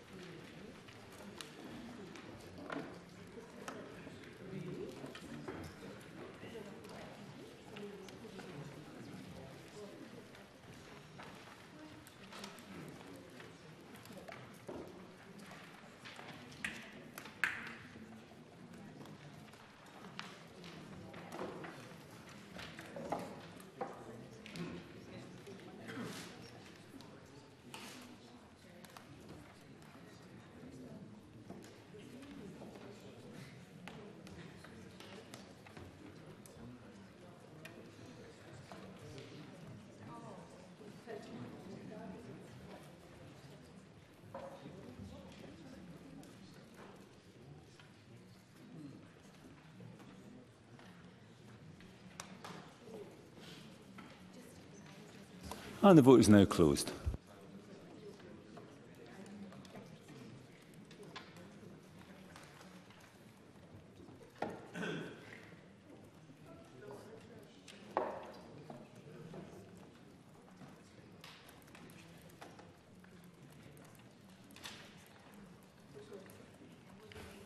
Okay, the result of the vote on Amendment uh, 82 in the name of Martin Whitfield is yes 46, uh, no 62. There were no abstentions. The amendment is therefore not agreed. I call Amendments 30, 31 and 32, all in the name of the Minister and all previously debated. I invite the Minister to move Amendments 30 to 32 on block. Minister.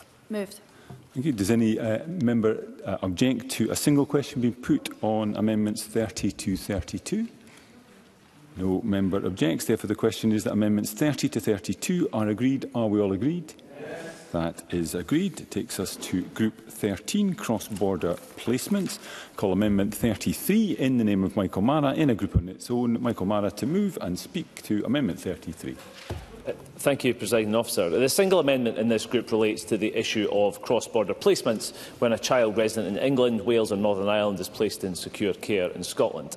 Uh, and the primary reason why cross-border placements are needed is the shortage of secure care in England.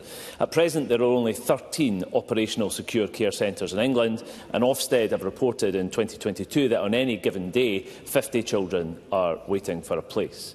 In May 2023, The Guardian reported that that a 12-year-old child in England had been transferred to an emergency placement in a travel lodge with police in attendance. That should give us some idea of the dire state of the secure care sector in England. Mr Mara, if I could ask you, there is too much background now and too many conversations taking place around the chamber. Could we have the give the respect to the member who's on his feet. Mr Marham, please continue. Thanks, President Officer. Children requiring secure care have very often been exposed to violence, abuse, trauma and are at risk of significant further harm to themselves and to others. And uh, these are some of the most vulnerable children in our country. And at the heart of cross-border placements, there is, I believe, a principle of giving refuge to those who require it.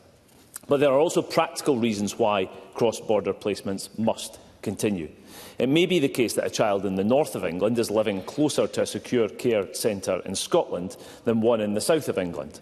In such cases, we should not allow the jurisdictional border to dictate where they go, when a cross-border placement means they retain proximity to their home.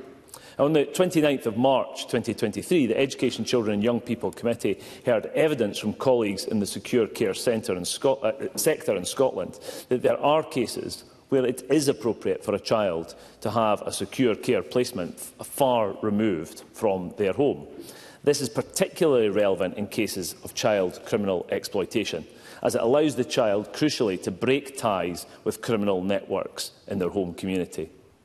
Yet the prevailing policy discourse uh, dictates a preference for keeping children close to home.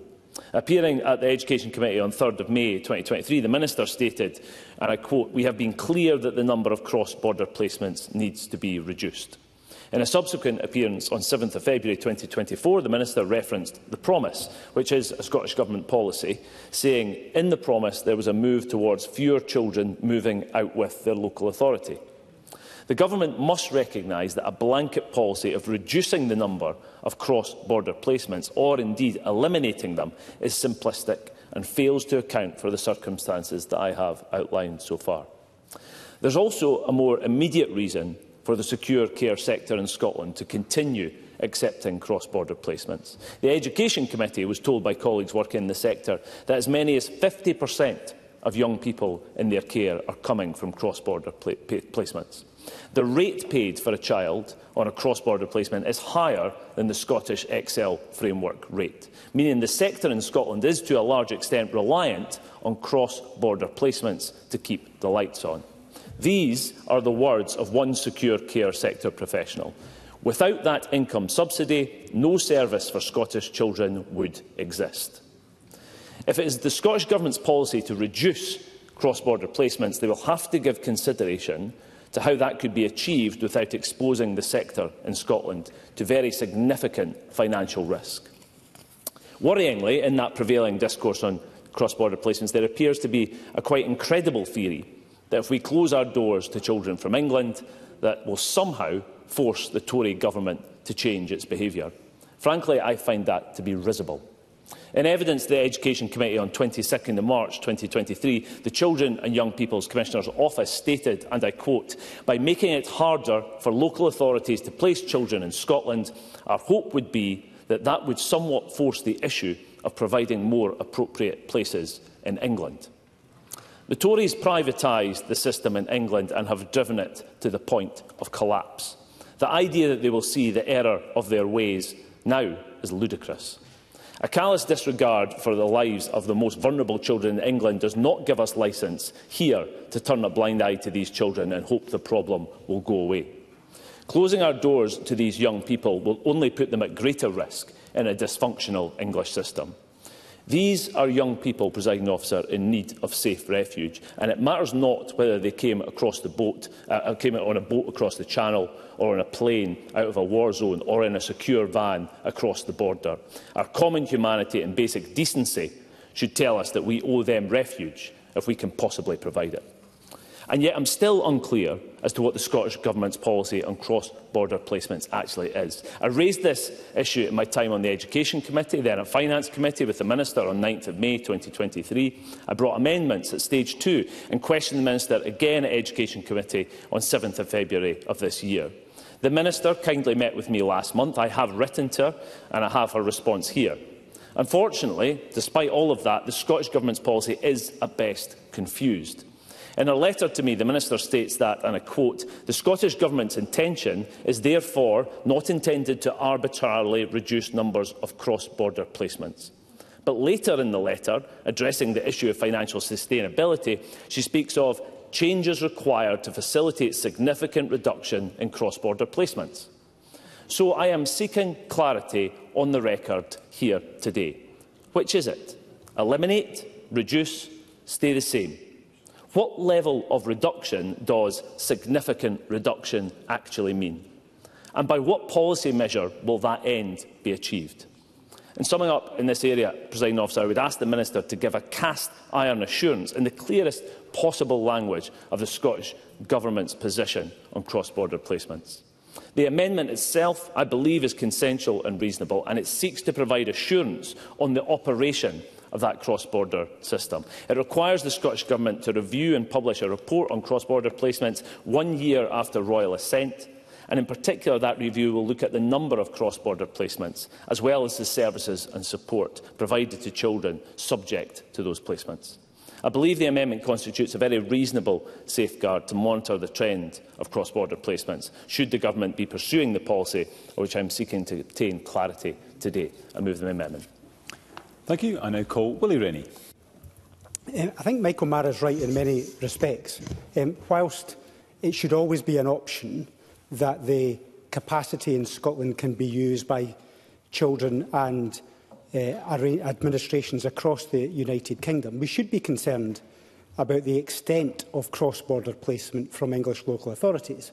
Children, I think, in the main, should be placed as close to home as is possible, as was set out in the promise. But this hasn't been possible because of the, the chaos that exists within uh, the English system and the limited capacity that comes from that. But that has a direct impact now for a Scottish child and an English child in the same facility have different rights. And that can't possibly be sustainable in the long term. We need to have an equivalence. We need to have enhanced rights where we possibly can. So that brings into sharp focus the problem that we do have. But this is a symptom of a problem from elsewhere, and it's not our responsibility, just the same, it's not our responsibility directly to solve the problem in England, and there, but we should not therefore just deal with the symptoms. We need to try and help solve the main problem, yes. Michael Mara. I appreciate Mr Rennie giving way. Does it recognise that within, I agree that there's a conflict in terms of the legal system, in terms of rights that are provided to children coming from these different ju jurisdictions, but the core of this is that, it, is it not a worse offence against that child's rights if they are put at risk by not being able to access secure care in Scotland?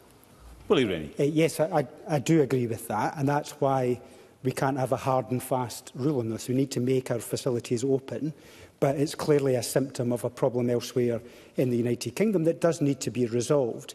Um, but there are some parts of the UK that are actually getting this right. My of the say, Liberal Democrat colleagues in Somerset Council uh, joined forces with the Shaw Trust and the local NHS to deliver homes for Horizon project. It delivered 10 family-sized homes, 20 specialist foster carers and a brand new therapeutic education service on two sites. So it shows that it's possible. They won awards for that work, but it shows that it's possible and there is change within England and we should be encouraging that change for where it's appropriate for children to remain closer to home. Yes. John Swinney. I'm very grateful to Mr Rennie for giving way and the example that he cites from Somerset I think is a very good example of the willingness of public authorities to contemplate the fact that their existing provision and their existing approach is just not good enough which is, of course, the thinking that underpins the promise. But I think the challenge with which we all wrestle, and I know ministers wrestle with this just now, is that that thinking and that willingness to confront that unacceptability of current provision is not always prevalent in public authorities. And perhaps this bill and the comments that he's put on the record will help that process. Willie Rennie. It was my, my, my colleagues in, in Somerset recognised that their young people were spread right across England and further beyond and they regarded that as unacceptable. And they wanted them to be brought back home, closer to their families and their connections. And that's something that I hope, as best practice, can be spread to other authorities in England. And that's why they won that award. And that's why I'm promoting it today, because it's important that we do spread that best practice. But we've got a role as well, which is why I will support Michael Mara's amendment, because I think by introducing the provision that he's uh, put in his amendment for a review of cross-border placements no later than a year after royal assent. I think that will give an extra focus on the symptoms that we are seeing in homes here in Scotland. So that's why I think we should support this. But he's also right to raise a key point that if English councils do introduce reforms on the lines that Somerset have introduced, there will be an issue for the homes here in Scotland because their financial models are based on significant numbers of young people coming from other parts of the United Kingdom. And if that goes, and it goes quickly, that will cause significant problems, particularly where are relying on that capacity ourselves to house our own here Scottish children in Scottish homes. So that's why the Minister does need to have a more comprehensive understanding of how this is changing, and what the financial impact will be if it changes very suddenly. And there may need to be some interventions and support to make sure that the capacity that we rely on is maintained. So we will support Michael Mara's amendment 33, probably for slightly different reasons, um, but I think it's important that we do have a proper understanding of what's happening with cross-border placements. We encourage English councils to follow the route of Somerset and we make sure that young people's rights are enhanced here in Scotland. Thank you. And I now call the Minister. Thank you, President Officer. I'm grateful to Mr Mara for our discussion in advance of Stage 3 and I do appreciate his interest in cross-border placements and ensuring children and young people have access to services that they need. Now, during that discussion, I did think that I had alleviated some of Mr Mara's concerns, so I'd like to emphasise again. I do not see this as political. This is not about forcing anyone to act. What should be forcing people to act is the priority to ensure that what is happening is in the best interests of the child. Of course, there will always be exceptional circumstances where children are required to be placed in Scotland, but that is what they should be. Exceptional circumstances based on that case-by-case -case basis for the child, not as a result of a lack of accommodation in England. Now, I'm not, I'm not going to put numbers on how many cross-border placements I would like to see or not see, because again, I just want to reiterate, I wouldn't expect numbers to ever be on this, because it will be on a case-by-case basis. So as I say, we need to focus on what is best for the child and stop thinking about numbers or targets. Now, as I made clear to Mr Mara when we met, My intention is to ensure that statutory care planning duties in other jurisdictions have been demonstrably met prior to any child being placed in Scotland. We're continuing to work with our counterparts in other administrations to achieve this, and we're clear that in cases such as deprivation of liberty order placements, where a child placement in Scotland is only intended to be temporary, that the placing authority should maintain its relationship with the child and retain responsibility for ensuring they have access to appropriate services and support. Mr Mara's proposed duty on ministers would require reporting on services provided to children on cross-border placements, but it's not clear exactly what services are being referred to and how it's proposed that ministers would obtain information on these from the wide range of people and organisations who would provide them. I'm also not clear what the purpose of collating this information would be and what value it would add to the extensive work that the Scottish Government is already undertaking on cross-border placements as I've previously discussed with Mr Mara. But I can assure Mr Mara that we want to ensure that all children who are placed in Scotland have access to the right services, to ensure their rights are respected and that their needs are met. And this will be a key consideration in the development of future regulations enabled by the bill if passed by this Parliament. The Scottish Government does currently have mechanisms in place to review and understand issues arising in Scotland as a, as a result of cross-border placements to inform the approach to future regulations. So, for example, the Care Inspectorate will soon provide us with further intelligence from its thematic review of cross-border placements, and this will include assessment of the practical realities of such placements into Scottish children's residential care homes from a variety of perspectives. It will be informed by feedback from chi children and young people who have been placed in Scotland, placing authorities, Scottish receiving local authorities, service providers, as well as the police, health boards and education providers in Scotland. That, alongside the wide range of additional evidence my officials have been compiling, enables us to pinpoint the key challenges at play. The Care Inspectorate also continues to monitor the number of placements made into Scotland, given it is notified of placements of children and young people into and out of Scotland. Our absolute priority is ensuring that any risks for a child are mitigated as early on in the cross-border placement process as is possible. And that's why, if the bill passes with the bolstered powers we need to do so, we'll prioritise the development of regulations on cross-border placements. A key consideration for those regulations, as I discussed with Mr Mara, will be to ensure that further processes are enacted to safeguard children, with clear lines of accountability and escalation where there is risk or concern in relation to how that child is being supported. In my view, development of the regulations is where we need to focus our resources and attention post-commencement of the bill, rather than putting time and energy into a one-off retrospective review and report. Those regulations will be subject to the affirmative procedure, so the Parliament will get the chance to fully scrutinise and debate them. Moreover, the factual circumstances and evidence supporting the regulations will be set out and published in the policy memorandum and impact assessments which accompany them. Of course, we would intend to assess the effectiveness of any new regulations after they've come into force, and again, we believe this would be a more fruitful exercise than reviewing where things stand in the year following royal assent. Of course, I'm also happy to continue discussions with Mr Mara in this light. On that basis, I cannot support Amendment 33. I would urge Mr Mara not to press it, and if it is pressed, I would ask members to reject.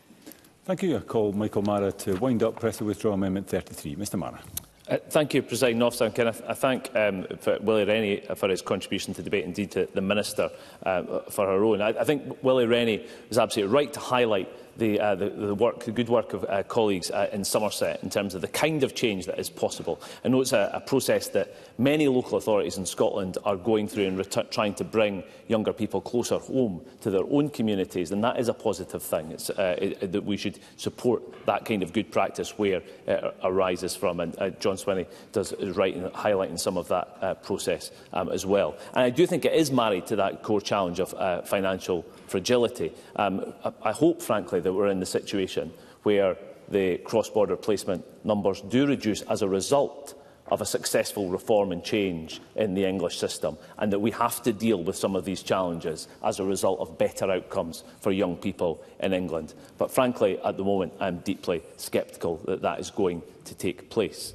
Um, and I would say, say to the Minister, that she, um, she said we are not forcing anyone to act. And, and I hear her words in that regard, but it does stand in contrast to the evidence from the Children's Commissioner officer who said that they want to see that change of behaviour in England forced by a reduction in those numbers um, in Scotland. And she talks about the exceptional circumstances as being uh, the, the, the case in which young people should be uh, removed from their communities and put on cross-border placements to Scotland. And I absolutely agree, it should be exceptional circumstances, but at the moment that is not the case. And that is, that is clearly as a result of the lack of accommodation in England, and we have to deal with that as the reality of what we find. We can't hope that the situation is different. We have to cope with it as it is and try and do our best to reform it on that basis.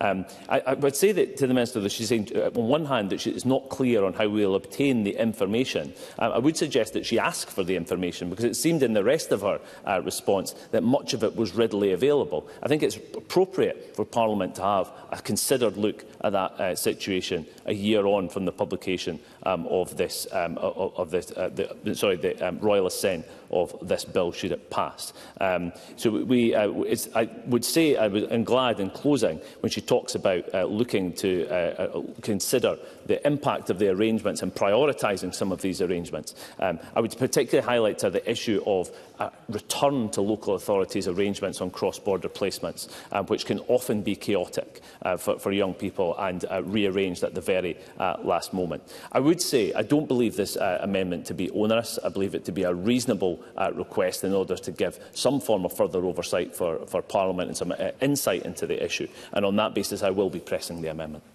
Thank you. The question is that Amendment uh, 33 be agreed. Are we all agreed? Yeah. Parliament's not agreed. There'll be a division and members should cast their votes now.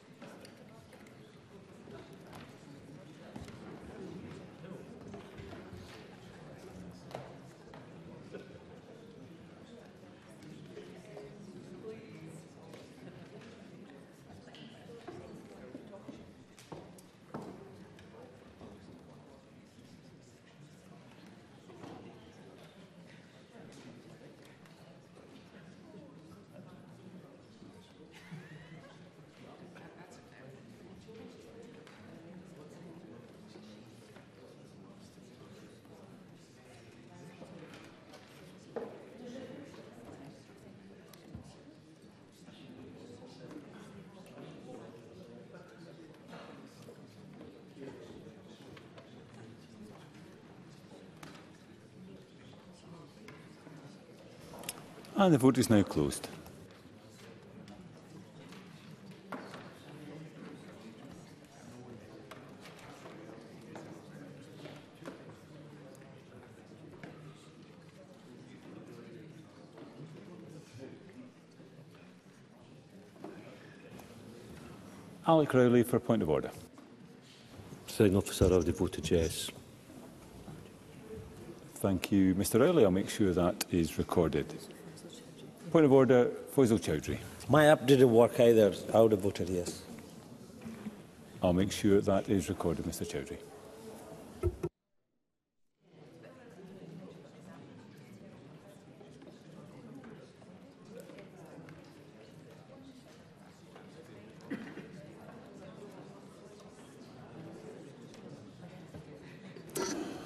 The result of the vote on Amendment 33 in the name of Michael Mara is yes 21, no 89. There were no abstentions. The amendment is therefore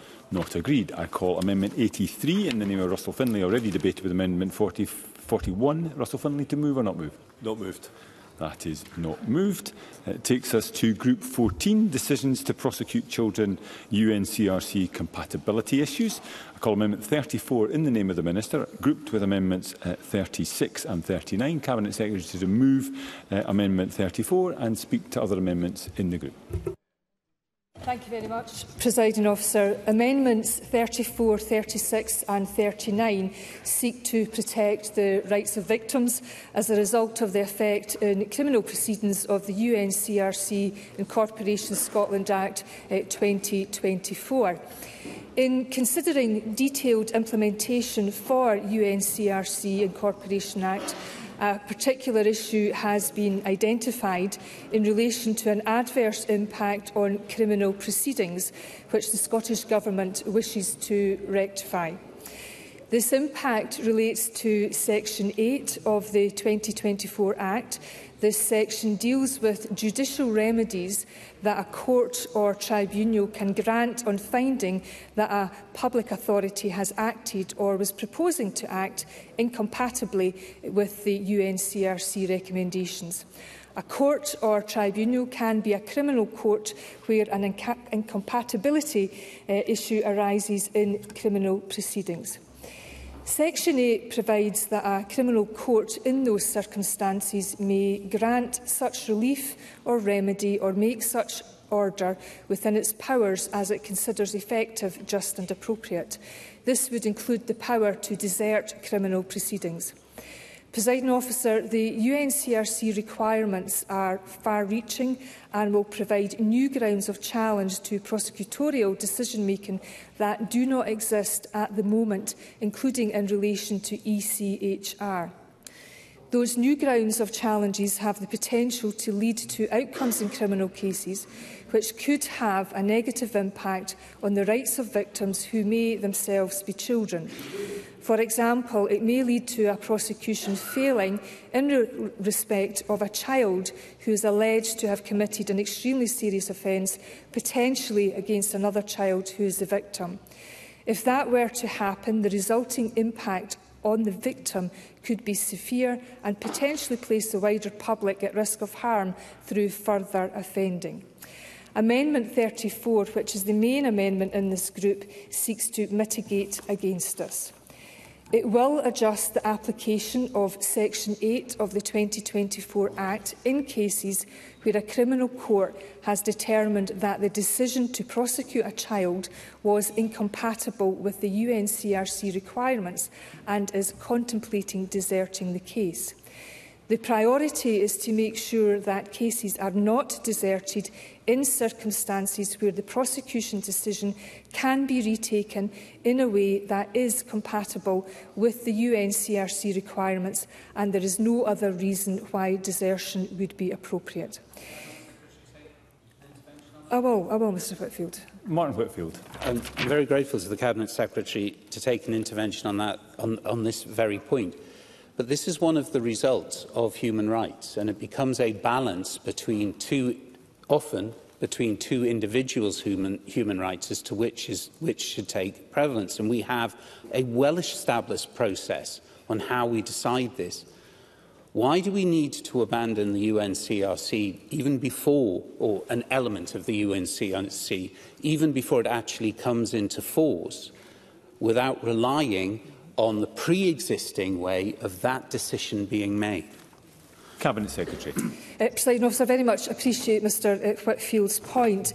Um, it gives me the, the opportunity to stress that it is not a case uh, of us abandoning UNCRC, uh, far from it, but it is a recognition as a result of the in-depth implementation work uh, that has been pursued across government that UNCRC requirements are far more far-reaching because they extend beyond the fairness of criminal proceedings proceedings themselves and into prosecutorial decision making. This is a new ground of challenge uh, that doesn't exist at the moment, and the risk is amplified. I think the next point will directly address uh, eh, Mr Whitfield's point that the lack of authoritative interpretations of UNCRC uh, eh, add to the risk if when by comparison unlike when ECHR uh, eh, were incorporated into domestic law uh, via the Human Rights Act in 1998.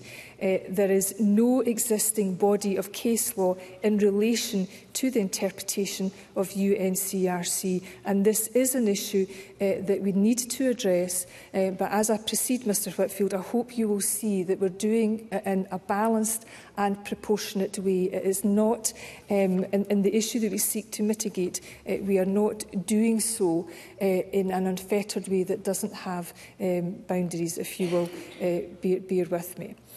Presiding officer, we, we do consider that this is important to address to uphold the interests of all involved in a case, including child victims, who may be denied justice if a case is deserted and not able to be progressed through new criminal proceedings due to expiry of relevant uh, criminal proceeding time limits or because the court has ruled that it cannot be re-raised.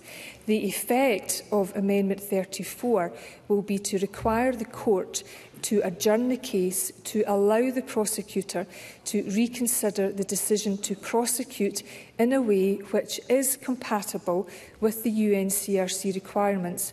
However, this requirement applies in limited circumstances. For instance, the requirement will not apply if the court is contemplating deserting proceedings because of another UNCRC compatibility issue arising in the case which is unconnected to the decision to prosecute. It will also not affect the court's power to desert proceedings in response to matters which are currently unlawful and where that remedy is available to the court, for example, in respect of an action which is compatible with ECHR rights. Moreover, the requirement will not apply if any one of the three exceptions applies.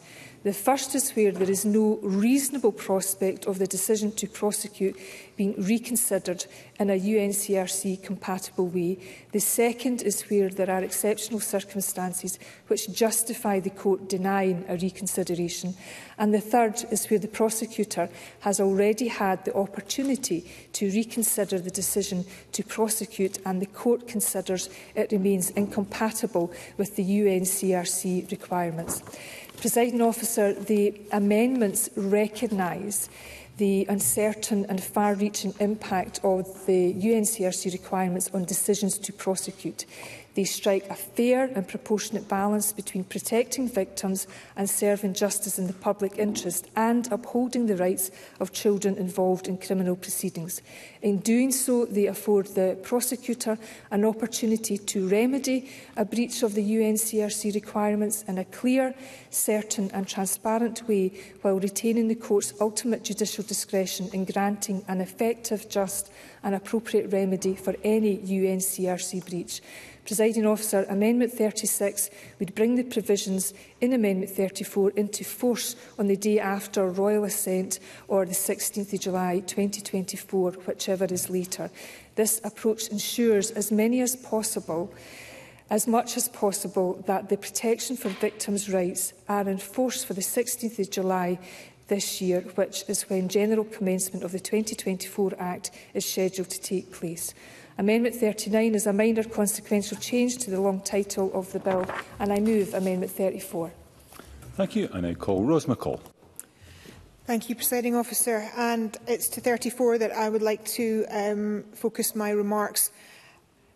Victim Support Scotland were quite correct in their briefing ahead of the Stage 3 uh, debate, where they said, we're concerned by the Government's amendment relating to UNCRC compatibility issues in relation to decisions to prosecute a child.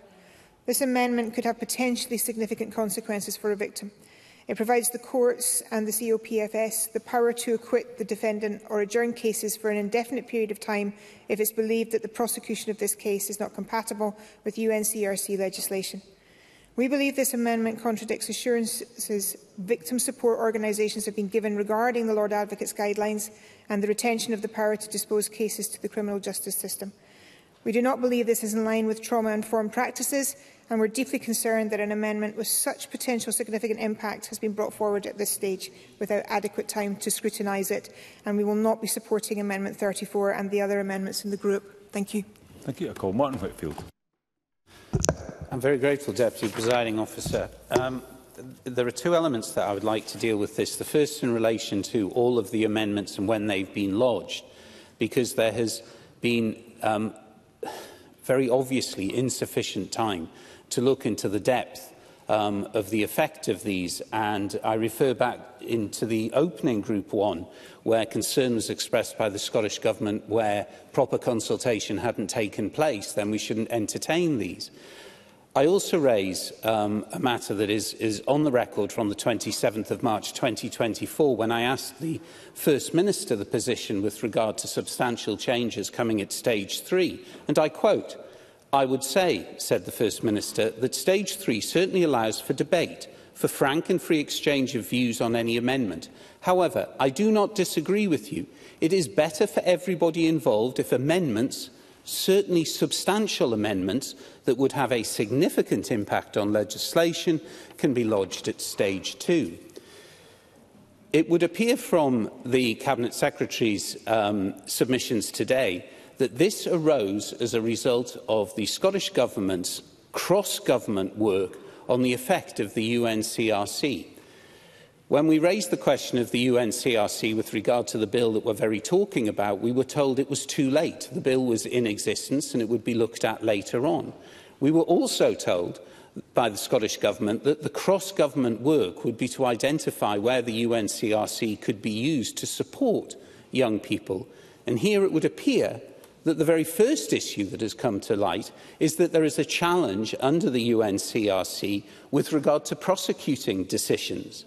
and we have a situation that has now arisen where there is a potential conflict where presumably on a, an individual identifying that they're being prosecuted, they also identify, identify a potential challenge under their human rights. And thus the conflict that the Cabinet Secretary has articulated may occur in our courts.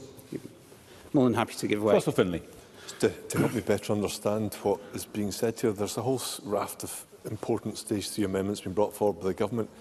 Has this been done because they've hit some kind of mad panic and they realised this needs to be in the legislation?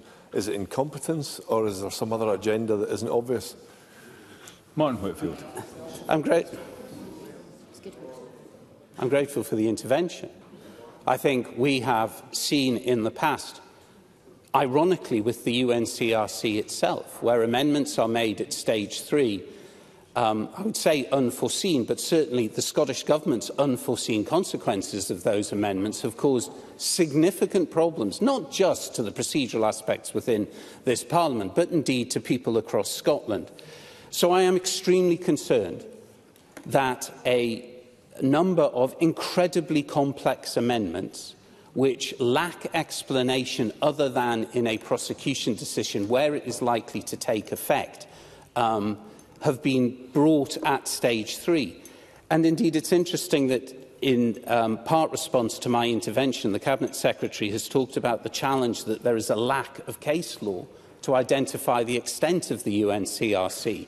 Um, I think it is, is somewhat unfair to say that in the previous time um, there was substantial case law that was, that was based on it, the system that we already use under the ECHR. Because actually when it was brought in, people were unclear as to the extent of it, and that has developed over time. It is also, I think, notwithstanding the validity otherwise of this amendment, incredibly unfortunate that possibly one of the most important pieces of legislation ever to come before the Scottish Parliament, and in this its 25th year, and at this before an act actually even takes effect. We are seeking to amend it.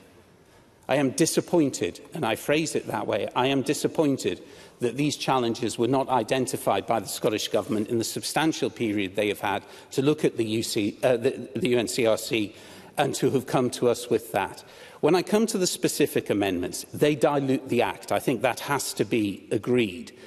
And at the end of the day, the appropriate decision maker, where we have a conflict of human rights, with the greatest of respect, should be courts. It should be the court that makes that decision, not the state. The position at the moment, on my understanding, is the presumption should be given to the prosecutor an opportunity to reconsider the bringing of criminal proceedings against a person which is compatible with the UNCRC. My understanding is that that can't simply be a rephrasing of it because it would still fall foul of the UNCRC. So is it the position of the government that prosecutors are going to be asked to go away and reconsider in its entirety where any potential criminal liability would lie, because simply rephrasing the charge sheet, I'm not sure, would satisfy existing case law where it's breached it. I am also incredibly concerned that, you know, even if this presumption is accepted, the exceptional circumstances criteria for a court to rebut this is perhaps at the highest possible level it can be.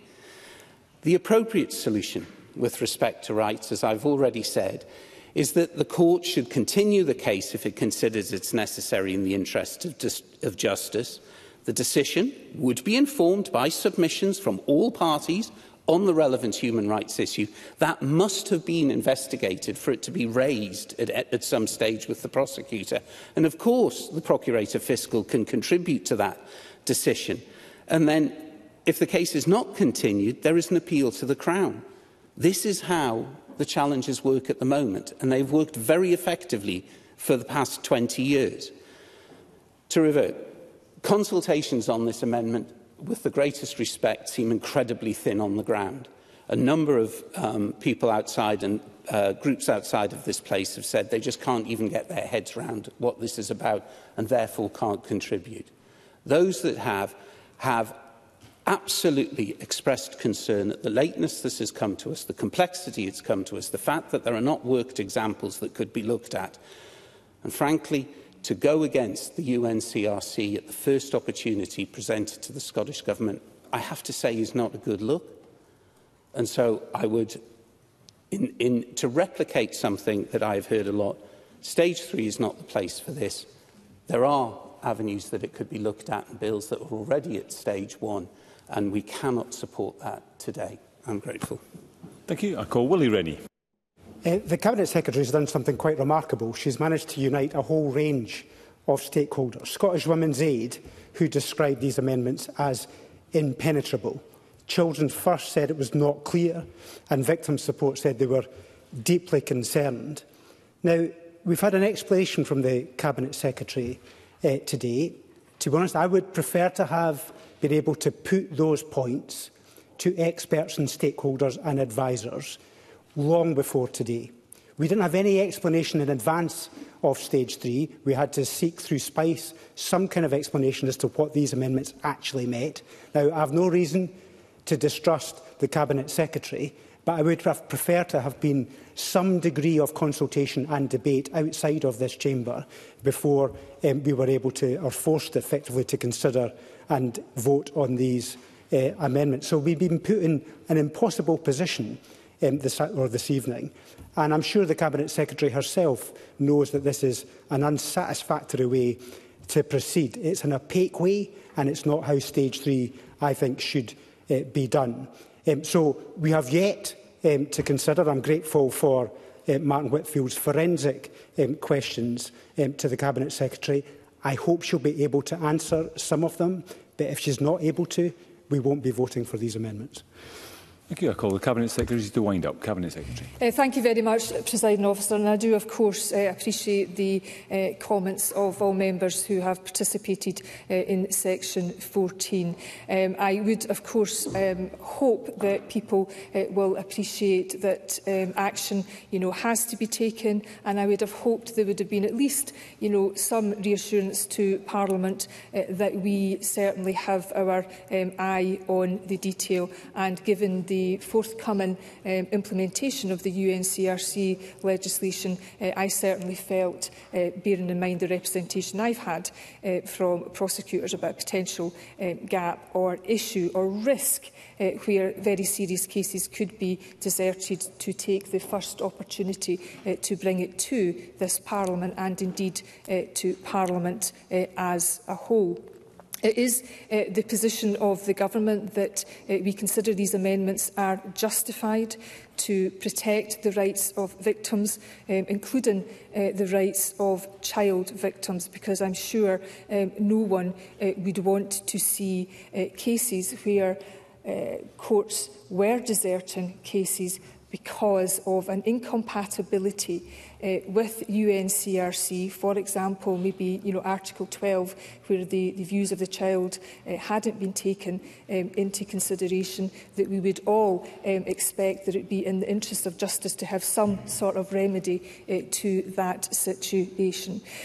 Can I just uh, again put on the record that uh, UNCRC requirements are far more uh, far-reaching um, than uh, ECHR uh, and that for the first time uh, they do uh, take us into uh, decisions uh, made by prosecutors uh, and I would I won't reiterate the entire statement but there are some very clear limits uh, on both the uh, limitations for courts uh, and indeed uh, um, the uh, uh, prosecutors and the circumstances in which decisions can be uh, revisited uh, or indeed um, overturned.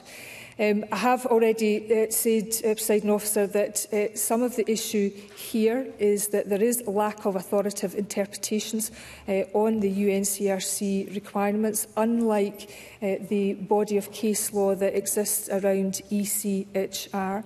And if I can also just once again refute that this is not the case, uh, that UNCRC is lesser than ECHR rights. Uh, they are just um, different and in this instance require different provision.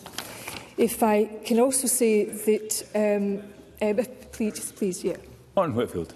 Why is the Scottish Government not relying on the system that's existed to test the conflict of rights that's existed for 20 years? Cabinet Secretary. I don't think I could be any clearer that for the first time we would be going into uncharted territory where there'd be new grounds of appeal for the accused on the basis of um, pro prosecution grounds. And I think we all in this Parliament uh, at various points um, in, our, in our tenure have defended uh, the rights of uh, prosecutors, uh, not least um, the Lord Advocate. But in terms of just trying to um, come to a conclusion, presiding officer, and give uh, some reassurances uh, to Parliament, is that uh, what we are trying to do here is mitigate the risk of a case being deserted when a decision to prosecution um, is challenged uh, and which in turn may have a negative impact um, on the rights of victims. Uh, this, uh, I believe, is fair and proportionate uh, balance between giving the prosecutor an opportunity uh, to remedy a, a breach of UNCRC requirements, but that has, there are clear limits to that, and it is in a clear, certain and transparent way that will ensure consistency of practice and, crucially, it retains the Court's ultimate uh, judicial uh, discretion in granting effective, just, appropriate remedy uh, when there's a breach. Thank you, Cabinet Secretary. Therefore, the question is that Amendment 34 be agreed. Are we all agreed? No. Parliament is not agreed. There will be a division and members should cast their votes now.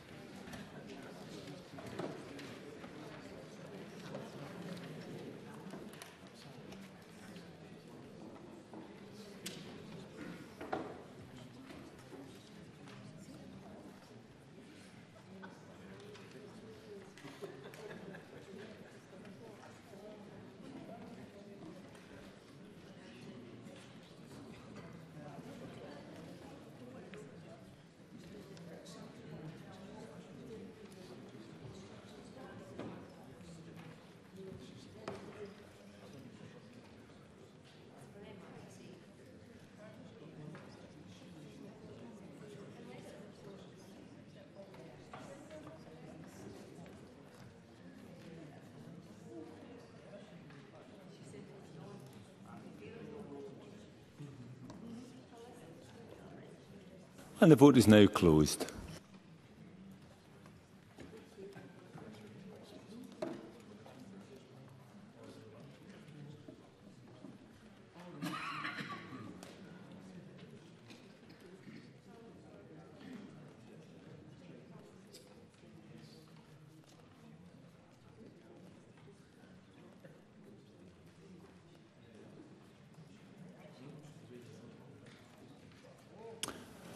The result of the vote on Amendment 34 in the name of Natalie Dawn is yes 62, uh, no 48. There were no abstentions. The amendment is therefore uh, agreed. Call Amendment 84 in the name of Ruth Maguire, already debated with Amendment 48. Ruth Maguire to move or not move? Not move, presiding officer. The member does not wish to move that amendment. Um, I call Amendment 85 in the name of Martin Whitfield, already amend, uh, debated with Amendment uh, 80. Martin Whitfield to move or not move? Moved moved. Uh, I call Amendment 86 in the name of Martin Whitfield, already debated with Amendment 80. Martin Whitfield to move on. Not moved. The amendment is not moved.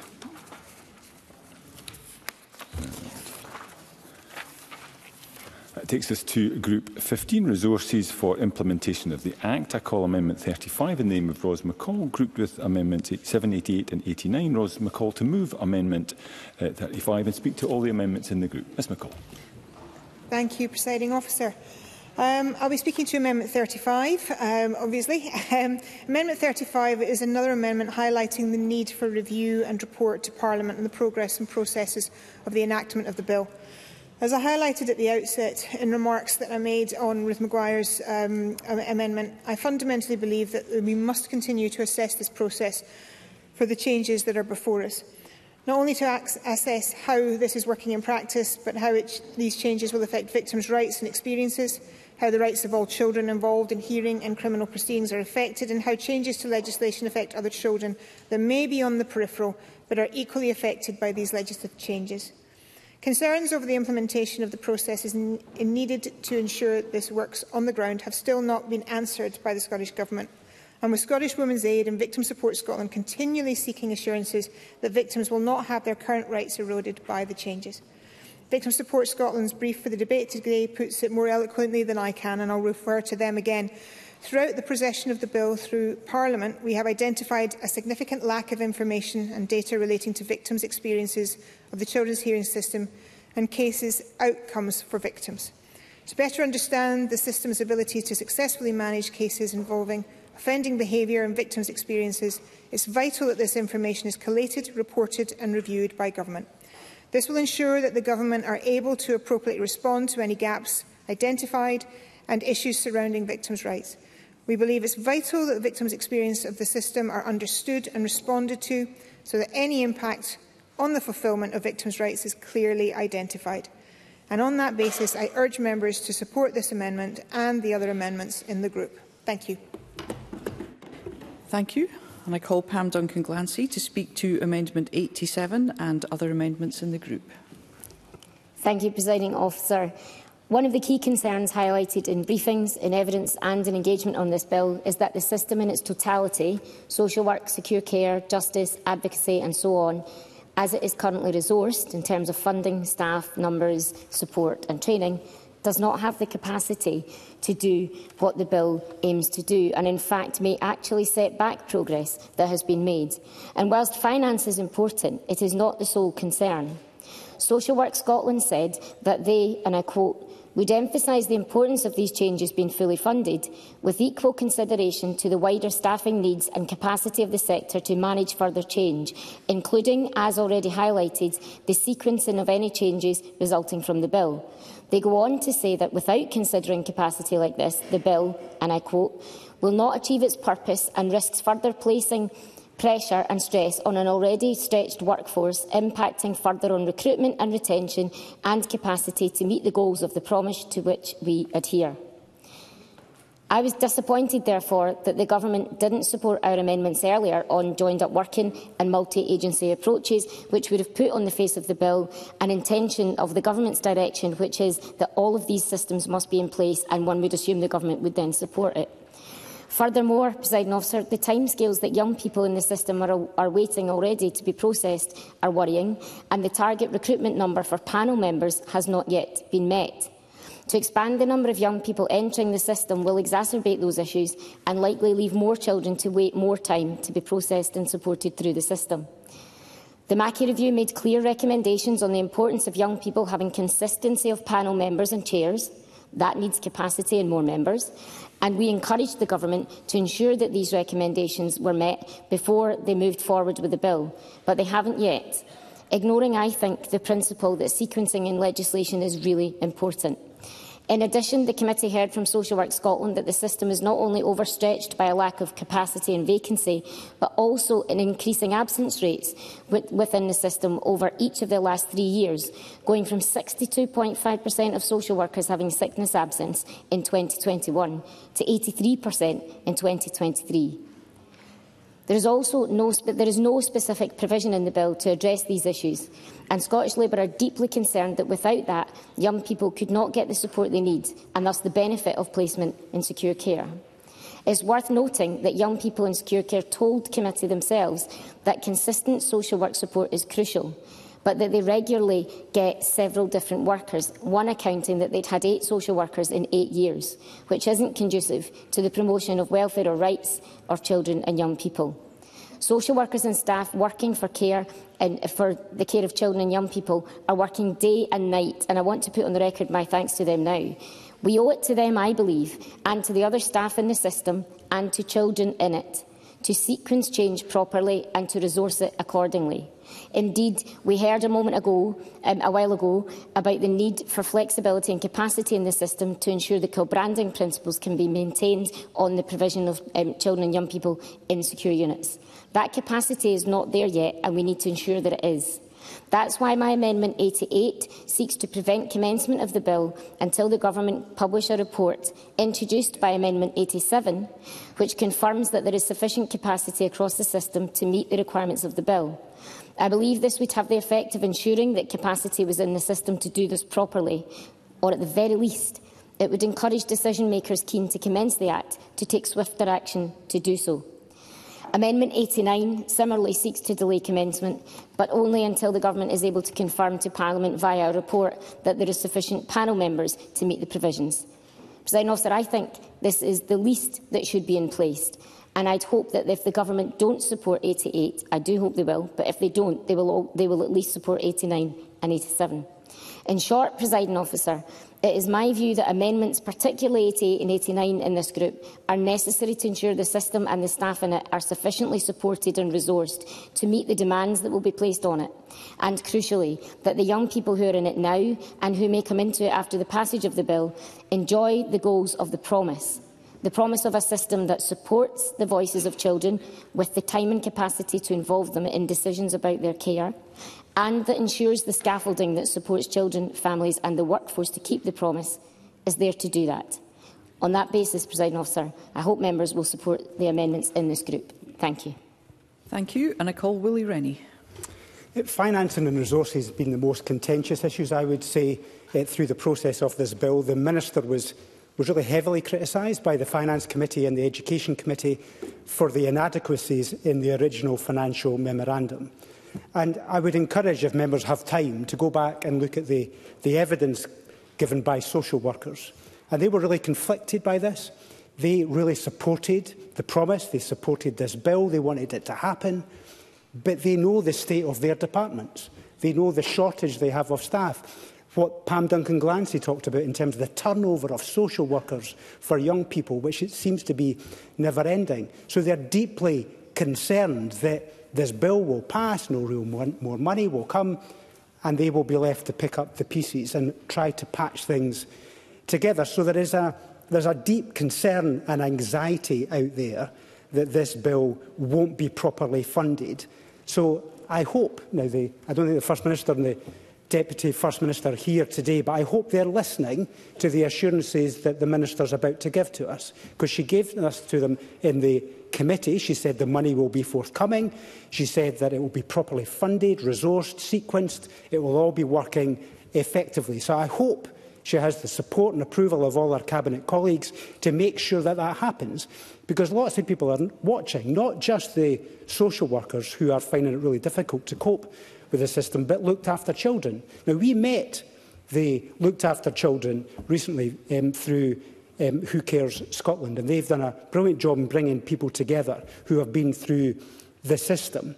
And they're exasperated, they are frustrated, they feel that nothing really has happened, and they want action to progress. Now, this bill gives us an opportunity to progress things, but only if it's funded properly. So I hope the money will be forthcoming and we don't let these young people down. We'll be watching very closely, but I don't want to put any barriers in the way to making this bill happen. So I don't agree with Pam Duncan Glancy's mechanisms. I'm glad that she's raised these amendments today, uh, but we won't be supporting 88 and 89. We will be supporting 87. It is important to flush out this debate, to have it properly authorised and supported by the Cabinet so they fully understand the anxieties that's felt across the system, so that the money is forthcoming and we don't let young people down. Yes, certainly. John Swinney. Hey, I'm grateful to Mr Rennie for giving me... I, I, I follow a lot of his argument and I understand where he's coming from, but can I establish the link also with his, inter with his comments about Somerset Council? Because it's actually a lot of these reforms require changes of attitudes as well as the money being in place. And I think it's right to press about resources,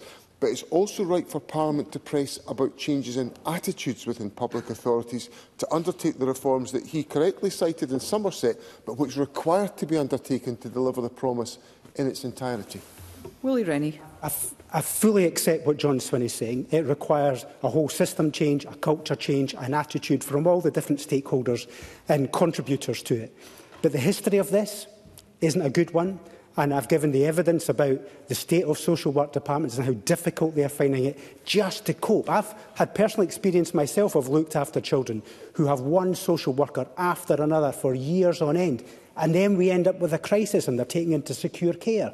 That's not the way to treat young people, and that's why we need the resource to be forthcoming. So accept the point, it's not just about money, it's about culture as well. But money is pretty important. Thank you, and I call the Minister. Thank you, President Officer. This group of amendments is founded in members' understandable interest in ensuring that the right resources will be in place to support the bill.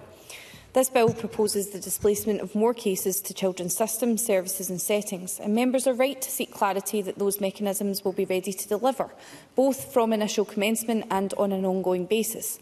However, I'm concerned not to draw agencies' resource and attention away from substantive planning and preparation, instead diverting it too far towards reporting, especially when that proposed reporting is either too broadly drawn or unduly prescriptive or when the proposed reporting intervals are either so premature or so retrospective. I have already stated to Parliament that we will not commence these provisions until I have assurances that all key delivery agencies are ready, and I am already in conversations around this and have been throughout the process of this bill. Pam Duncan Glancy. I thank the Minister for taking the intervention, and, and I, I get the point about reporting, but the amendment I brought at stage two didn't include a reporting mechanism. The amendment I brought at stage two said, um, asked that the, the bill not be commenced until the system was up and, up, up and running and had capacity. And when, when the Minister and I discussed this between stage two and stage three, there was a discussion about whether a report to establish whether the capacity was necessary. So if the Minister has another mechanism to which she could establish herself whether the capacity is in the system that doesn't require a port, I'd be interested to hear it.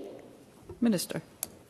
Thank you. Pam Duncan Glancy's right to draw in some of our conversations between stage two and stage three. Um, I have perhaps some um, different opinion on the definition of system readiness or capacity. But I would also say that I think the member's been a little bit hasty um, in terms of the, the amendments at play here. So if I could continue. Firstly, to Rose McCall's Amendment 35, requiring a report to be laid in Parliament a year after royal assent as to whether sufficient resources were in place. It's already clear that there will be provisions in this bill that will not be commenced until well after the first anniversary of royal assent. That reality renders this particular amendment redundant. There are also issues with the identified reporting heads in this amendment, and I'll take a moment to describe why those problems are uh, sorry, why those proposals are problematic, because the point also applies to Pam Duncan Glancy's Amendment 89. On secure care, there is already daily reporting on occupancy rates for each centre. A retrospective report on occupancy rates would add no value to forward planning. More appropriate and detailed reporting, planning and projection, act, uh, uh, sorry, planning and projection activity already happens. On children's social work staff numbers, that's, it's not a reliable illustration of professional support capacity for children's hearings decisions. It's for an entire local authority with important contributions from the third sector and others to implement hearings decisions. This amendment would not capture the inf information that it clearly intends. However, I am acutely aware of the challenges that committee members heard, and as I updated the committee, um, there is a whole host of work underway to improve this situation. On children's panel numbers, there are variations in individual panel member availability, which also fluctuate for individuals from time to time. There are also significant prevailing differences in local requirements as to panel numbers. Both factors directly affect the actual caseload processing capacity among local areas. So you could have a huge number of panel members, but dependent on that, those panel members' availability, that doesn't necessarily mean that the system is ready. So we need to look at the, the, the detail, finer detail. An aggregate report on total national panel numbers, looking backwards, would not assist Parliament. Instead, if I could just make progress, Instead, prospective projections which have practical management information utility for the National Convener and CHS are already in place. I'll take the uh, intervention. Pam Duncan Glancy. I thank the Minister for taking the intervention and that's why I think um, Amendment 88, if I'm right on my numbering, um, sets out that it's about the capacity within the panel system rather than specifically the numbers. Minister. Thank the member for that intervention and I will get on to Amendment 88 in just a second. Amendment 87 from Pam Duncan Glancy would entail the compilation of material from a range of sources directly engaged in preparing for the commencement and implementation of the bill. The amendment is not strictly required, given our implementation planning and our usual commitment to post-commencement review. But that said, I acknowledge the member's sincere interest in this area, and I note the absence of unduly broad or inappropriately prescriptive elements from this amendment, so I will therefore support Amendment 87. Turning to Amendment 88, there are a number of structural, practical and scope difficulties. Linking the commencement of legislation to a retrospective report so soon after royal assent, particularly without either defining resources or sufficiency, are in my view inappropriate preconditions. There will be a very limited value in publishing a report within, six, within the six-month limit in the amendment about conditions and capacity during that period. In respect of secure care, there should be no capacity concerns because our 16-bed funding intervention is already in place with funding agreed and confirmed. On children's hearings, partners in our implementation and resourcing group tell us that the relevant expansion provisions shouldn't be commenced until late 25-26. So a report laid here in, say, December 24 could refer to a period that's actually more than a year before some provisions' planned commencement date. That would not reveal anything useful to Parliament about current relevant resources or sufficiency. As to the issues with scope, the amendment refers to the children's hearing system. I note that the system extends not only to SCRA, CHS and local authorities. The report would also need to include report, reporting on safeguarders, advocacy workers, solicitors and council, police, COPs, courts and the full sweep of local authority services and third sector provision accessible by children, as well as reporting on health services. This would be an onerous, unjustifiable undertaking, so I cannot support the amendment.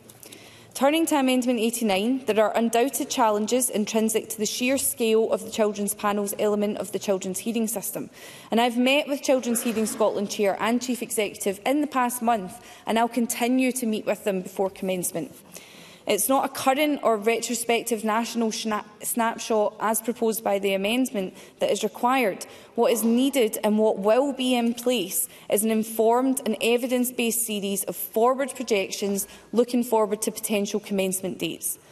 On a rolling basis, remedial recruitment and retention actions that strengthen the panel are required in preparation for these reforms, and we will support the National Convener and Children's Hearing Scotland in that. As I observed at stage two, we also risk interfering with the vital independence of the National Convener of Children's Hearing Scotland. It is that convener's independent statutory role to determine how to resource children's panels as set out in the 2011 Act. For those reasons, I cannot support the amendment, but I'm happy to update Parliament regularly on these issues. Thank you, and I call on Rose McCall to wind up and to press or withdraw Amendment 35. Thank you, Presiding Officer. Um, I note the points that have been made. Um, I actually echo the, the points that uh, have been put across by Pam Duncan-Glancy and Willie Rennie um, on the concerns on upscaling, financing, um, resourcing, um, and the pressure that a lot of our systems, including staff, um, the children's hearing system, social, um, social work, uh, the pressures that they are all under. And I know that needs to come together properly funded, and I accept wholeheartedly that there needs to be a, a change in culture. Um, I hear the, the Minister's uh, comments uh, on the amendment, and uh, whilst I understand that certain parts will be after the first year, the amendment does include additional years after that. And I do think this is an important part where we have information coming back to Parliament, and I'm going to press the amendment. And uh, thank you very much indeed.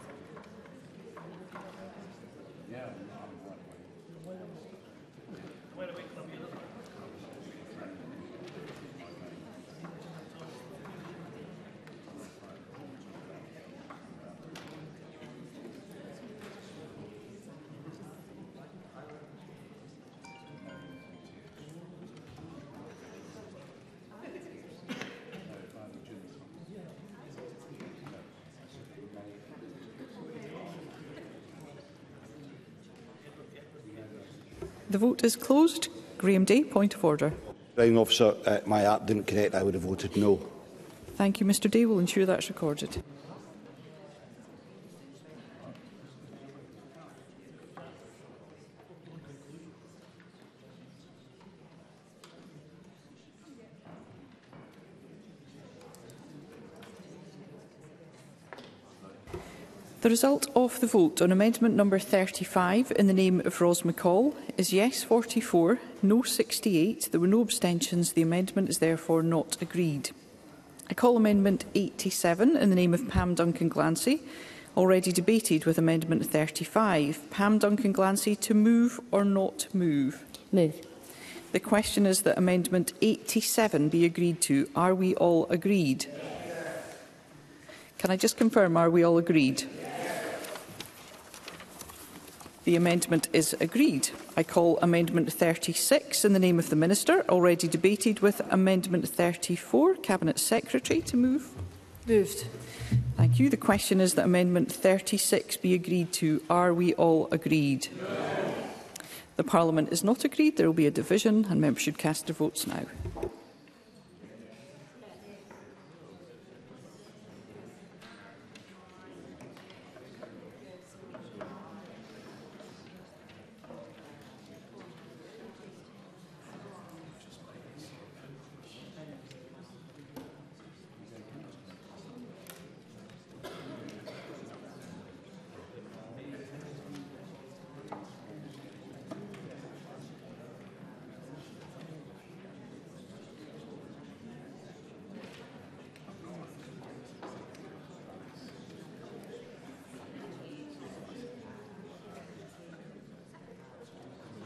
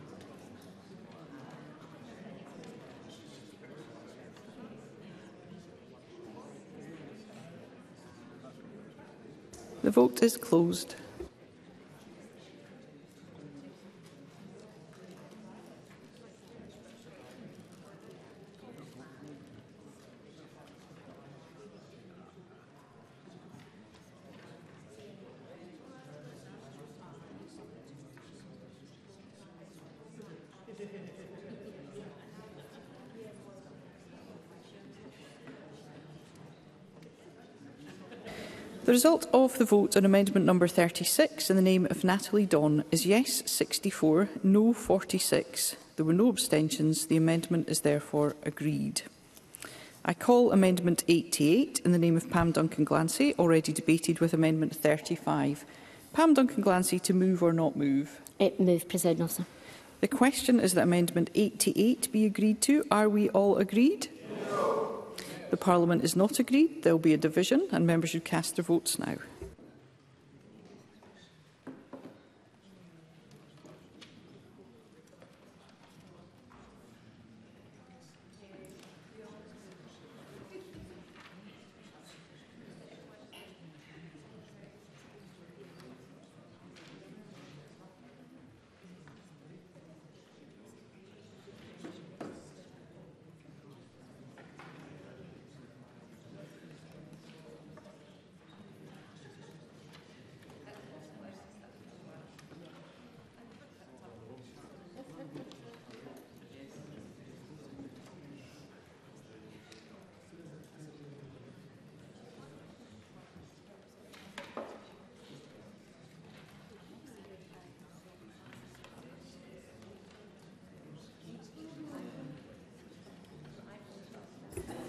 is closed.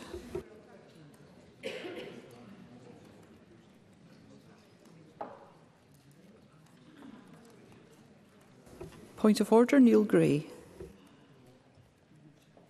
Apologies, President Officer, I couldn't correct the platform. I would have voted no. Thank you, Mr Gray. We'll ensure that's recorded.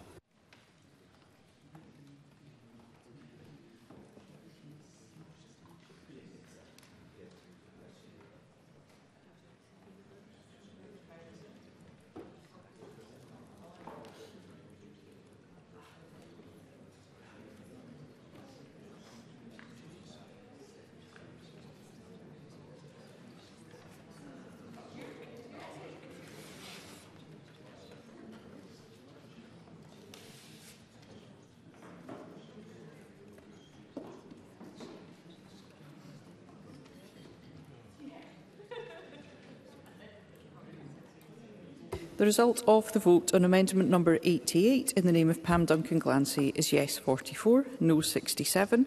There were no abstentions. The amendment is therefore not agreed.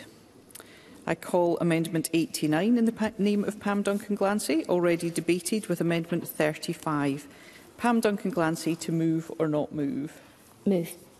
The question is that Amendment 89 be agreed to. Are we all agreed?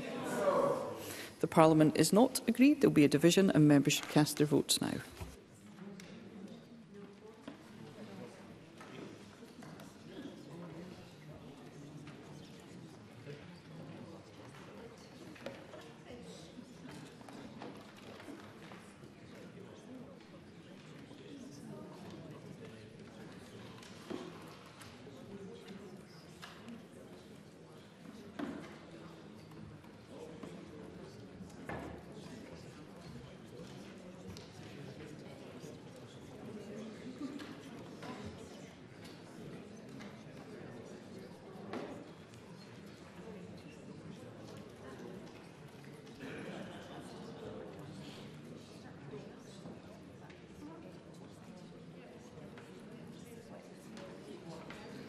The vote is closed.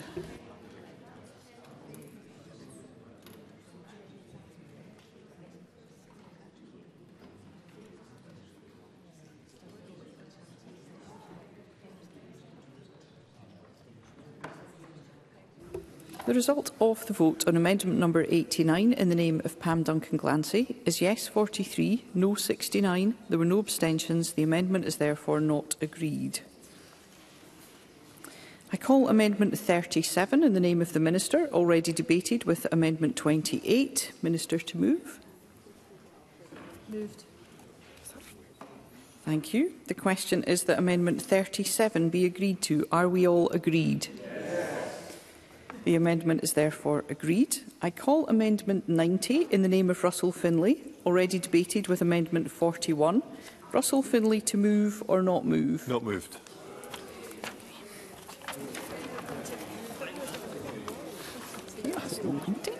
I call amendments 91, 92, 93, 94, 95 and 96, all in the name of Russell Finlay and all previously debated. And I ask Mr Finlay if he intends to move amendments 91 to 96. Not moved. Russell Finlay has indicated that he will not be moving amendments 91 to 96. It would be helpful if any member who wishes to move any amendments, 91 to 96, could indicate now. No member has indicated that they wish to do so, so I confirm for the record that the following amendments in the name of Russell Finlay are not moved 91, 92, 93, 94, 95 and 96. And I call Amendment 38 in the name of the Minister, already debated with Amendment 25. Minister to move. Moved. Thank you. And the question is that Amendment 38 be agreed to. Are we all agreed? Yes. We are agreed. I call Amendment 97 in the name of Russell Finlay, already debated with Amendment 41. Russell Finlay to move or not move? Not moved. Thank you. I call Amendment 39 in the name of the Minister, already debated with Amendment 34. Cabinet Secretary to move formally. Moved. Thank you. The question is that Amendment 39 be agreed to. Are we all agreed? The Parliament is not agreed. There will be a division and members should cast their votes now.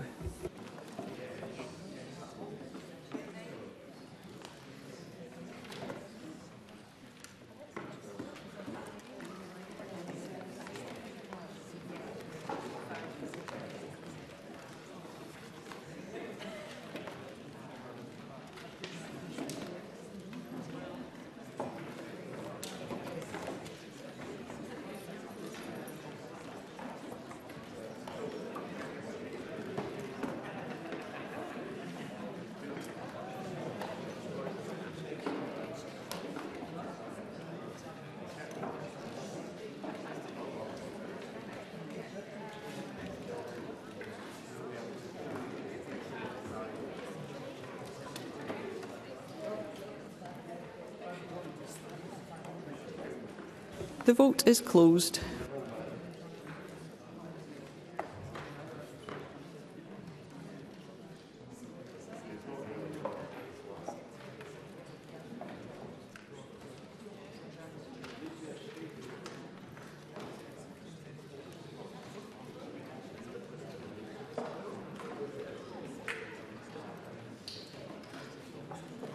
The result of the vote on amendment number 39 in the name of Natalie Don is yes 79, no 32. There were no abstentions.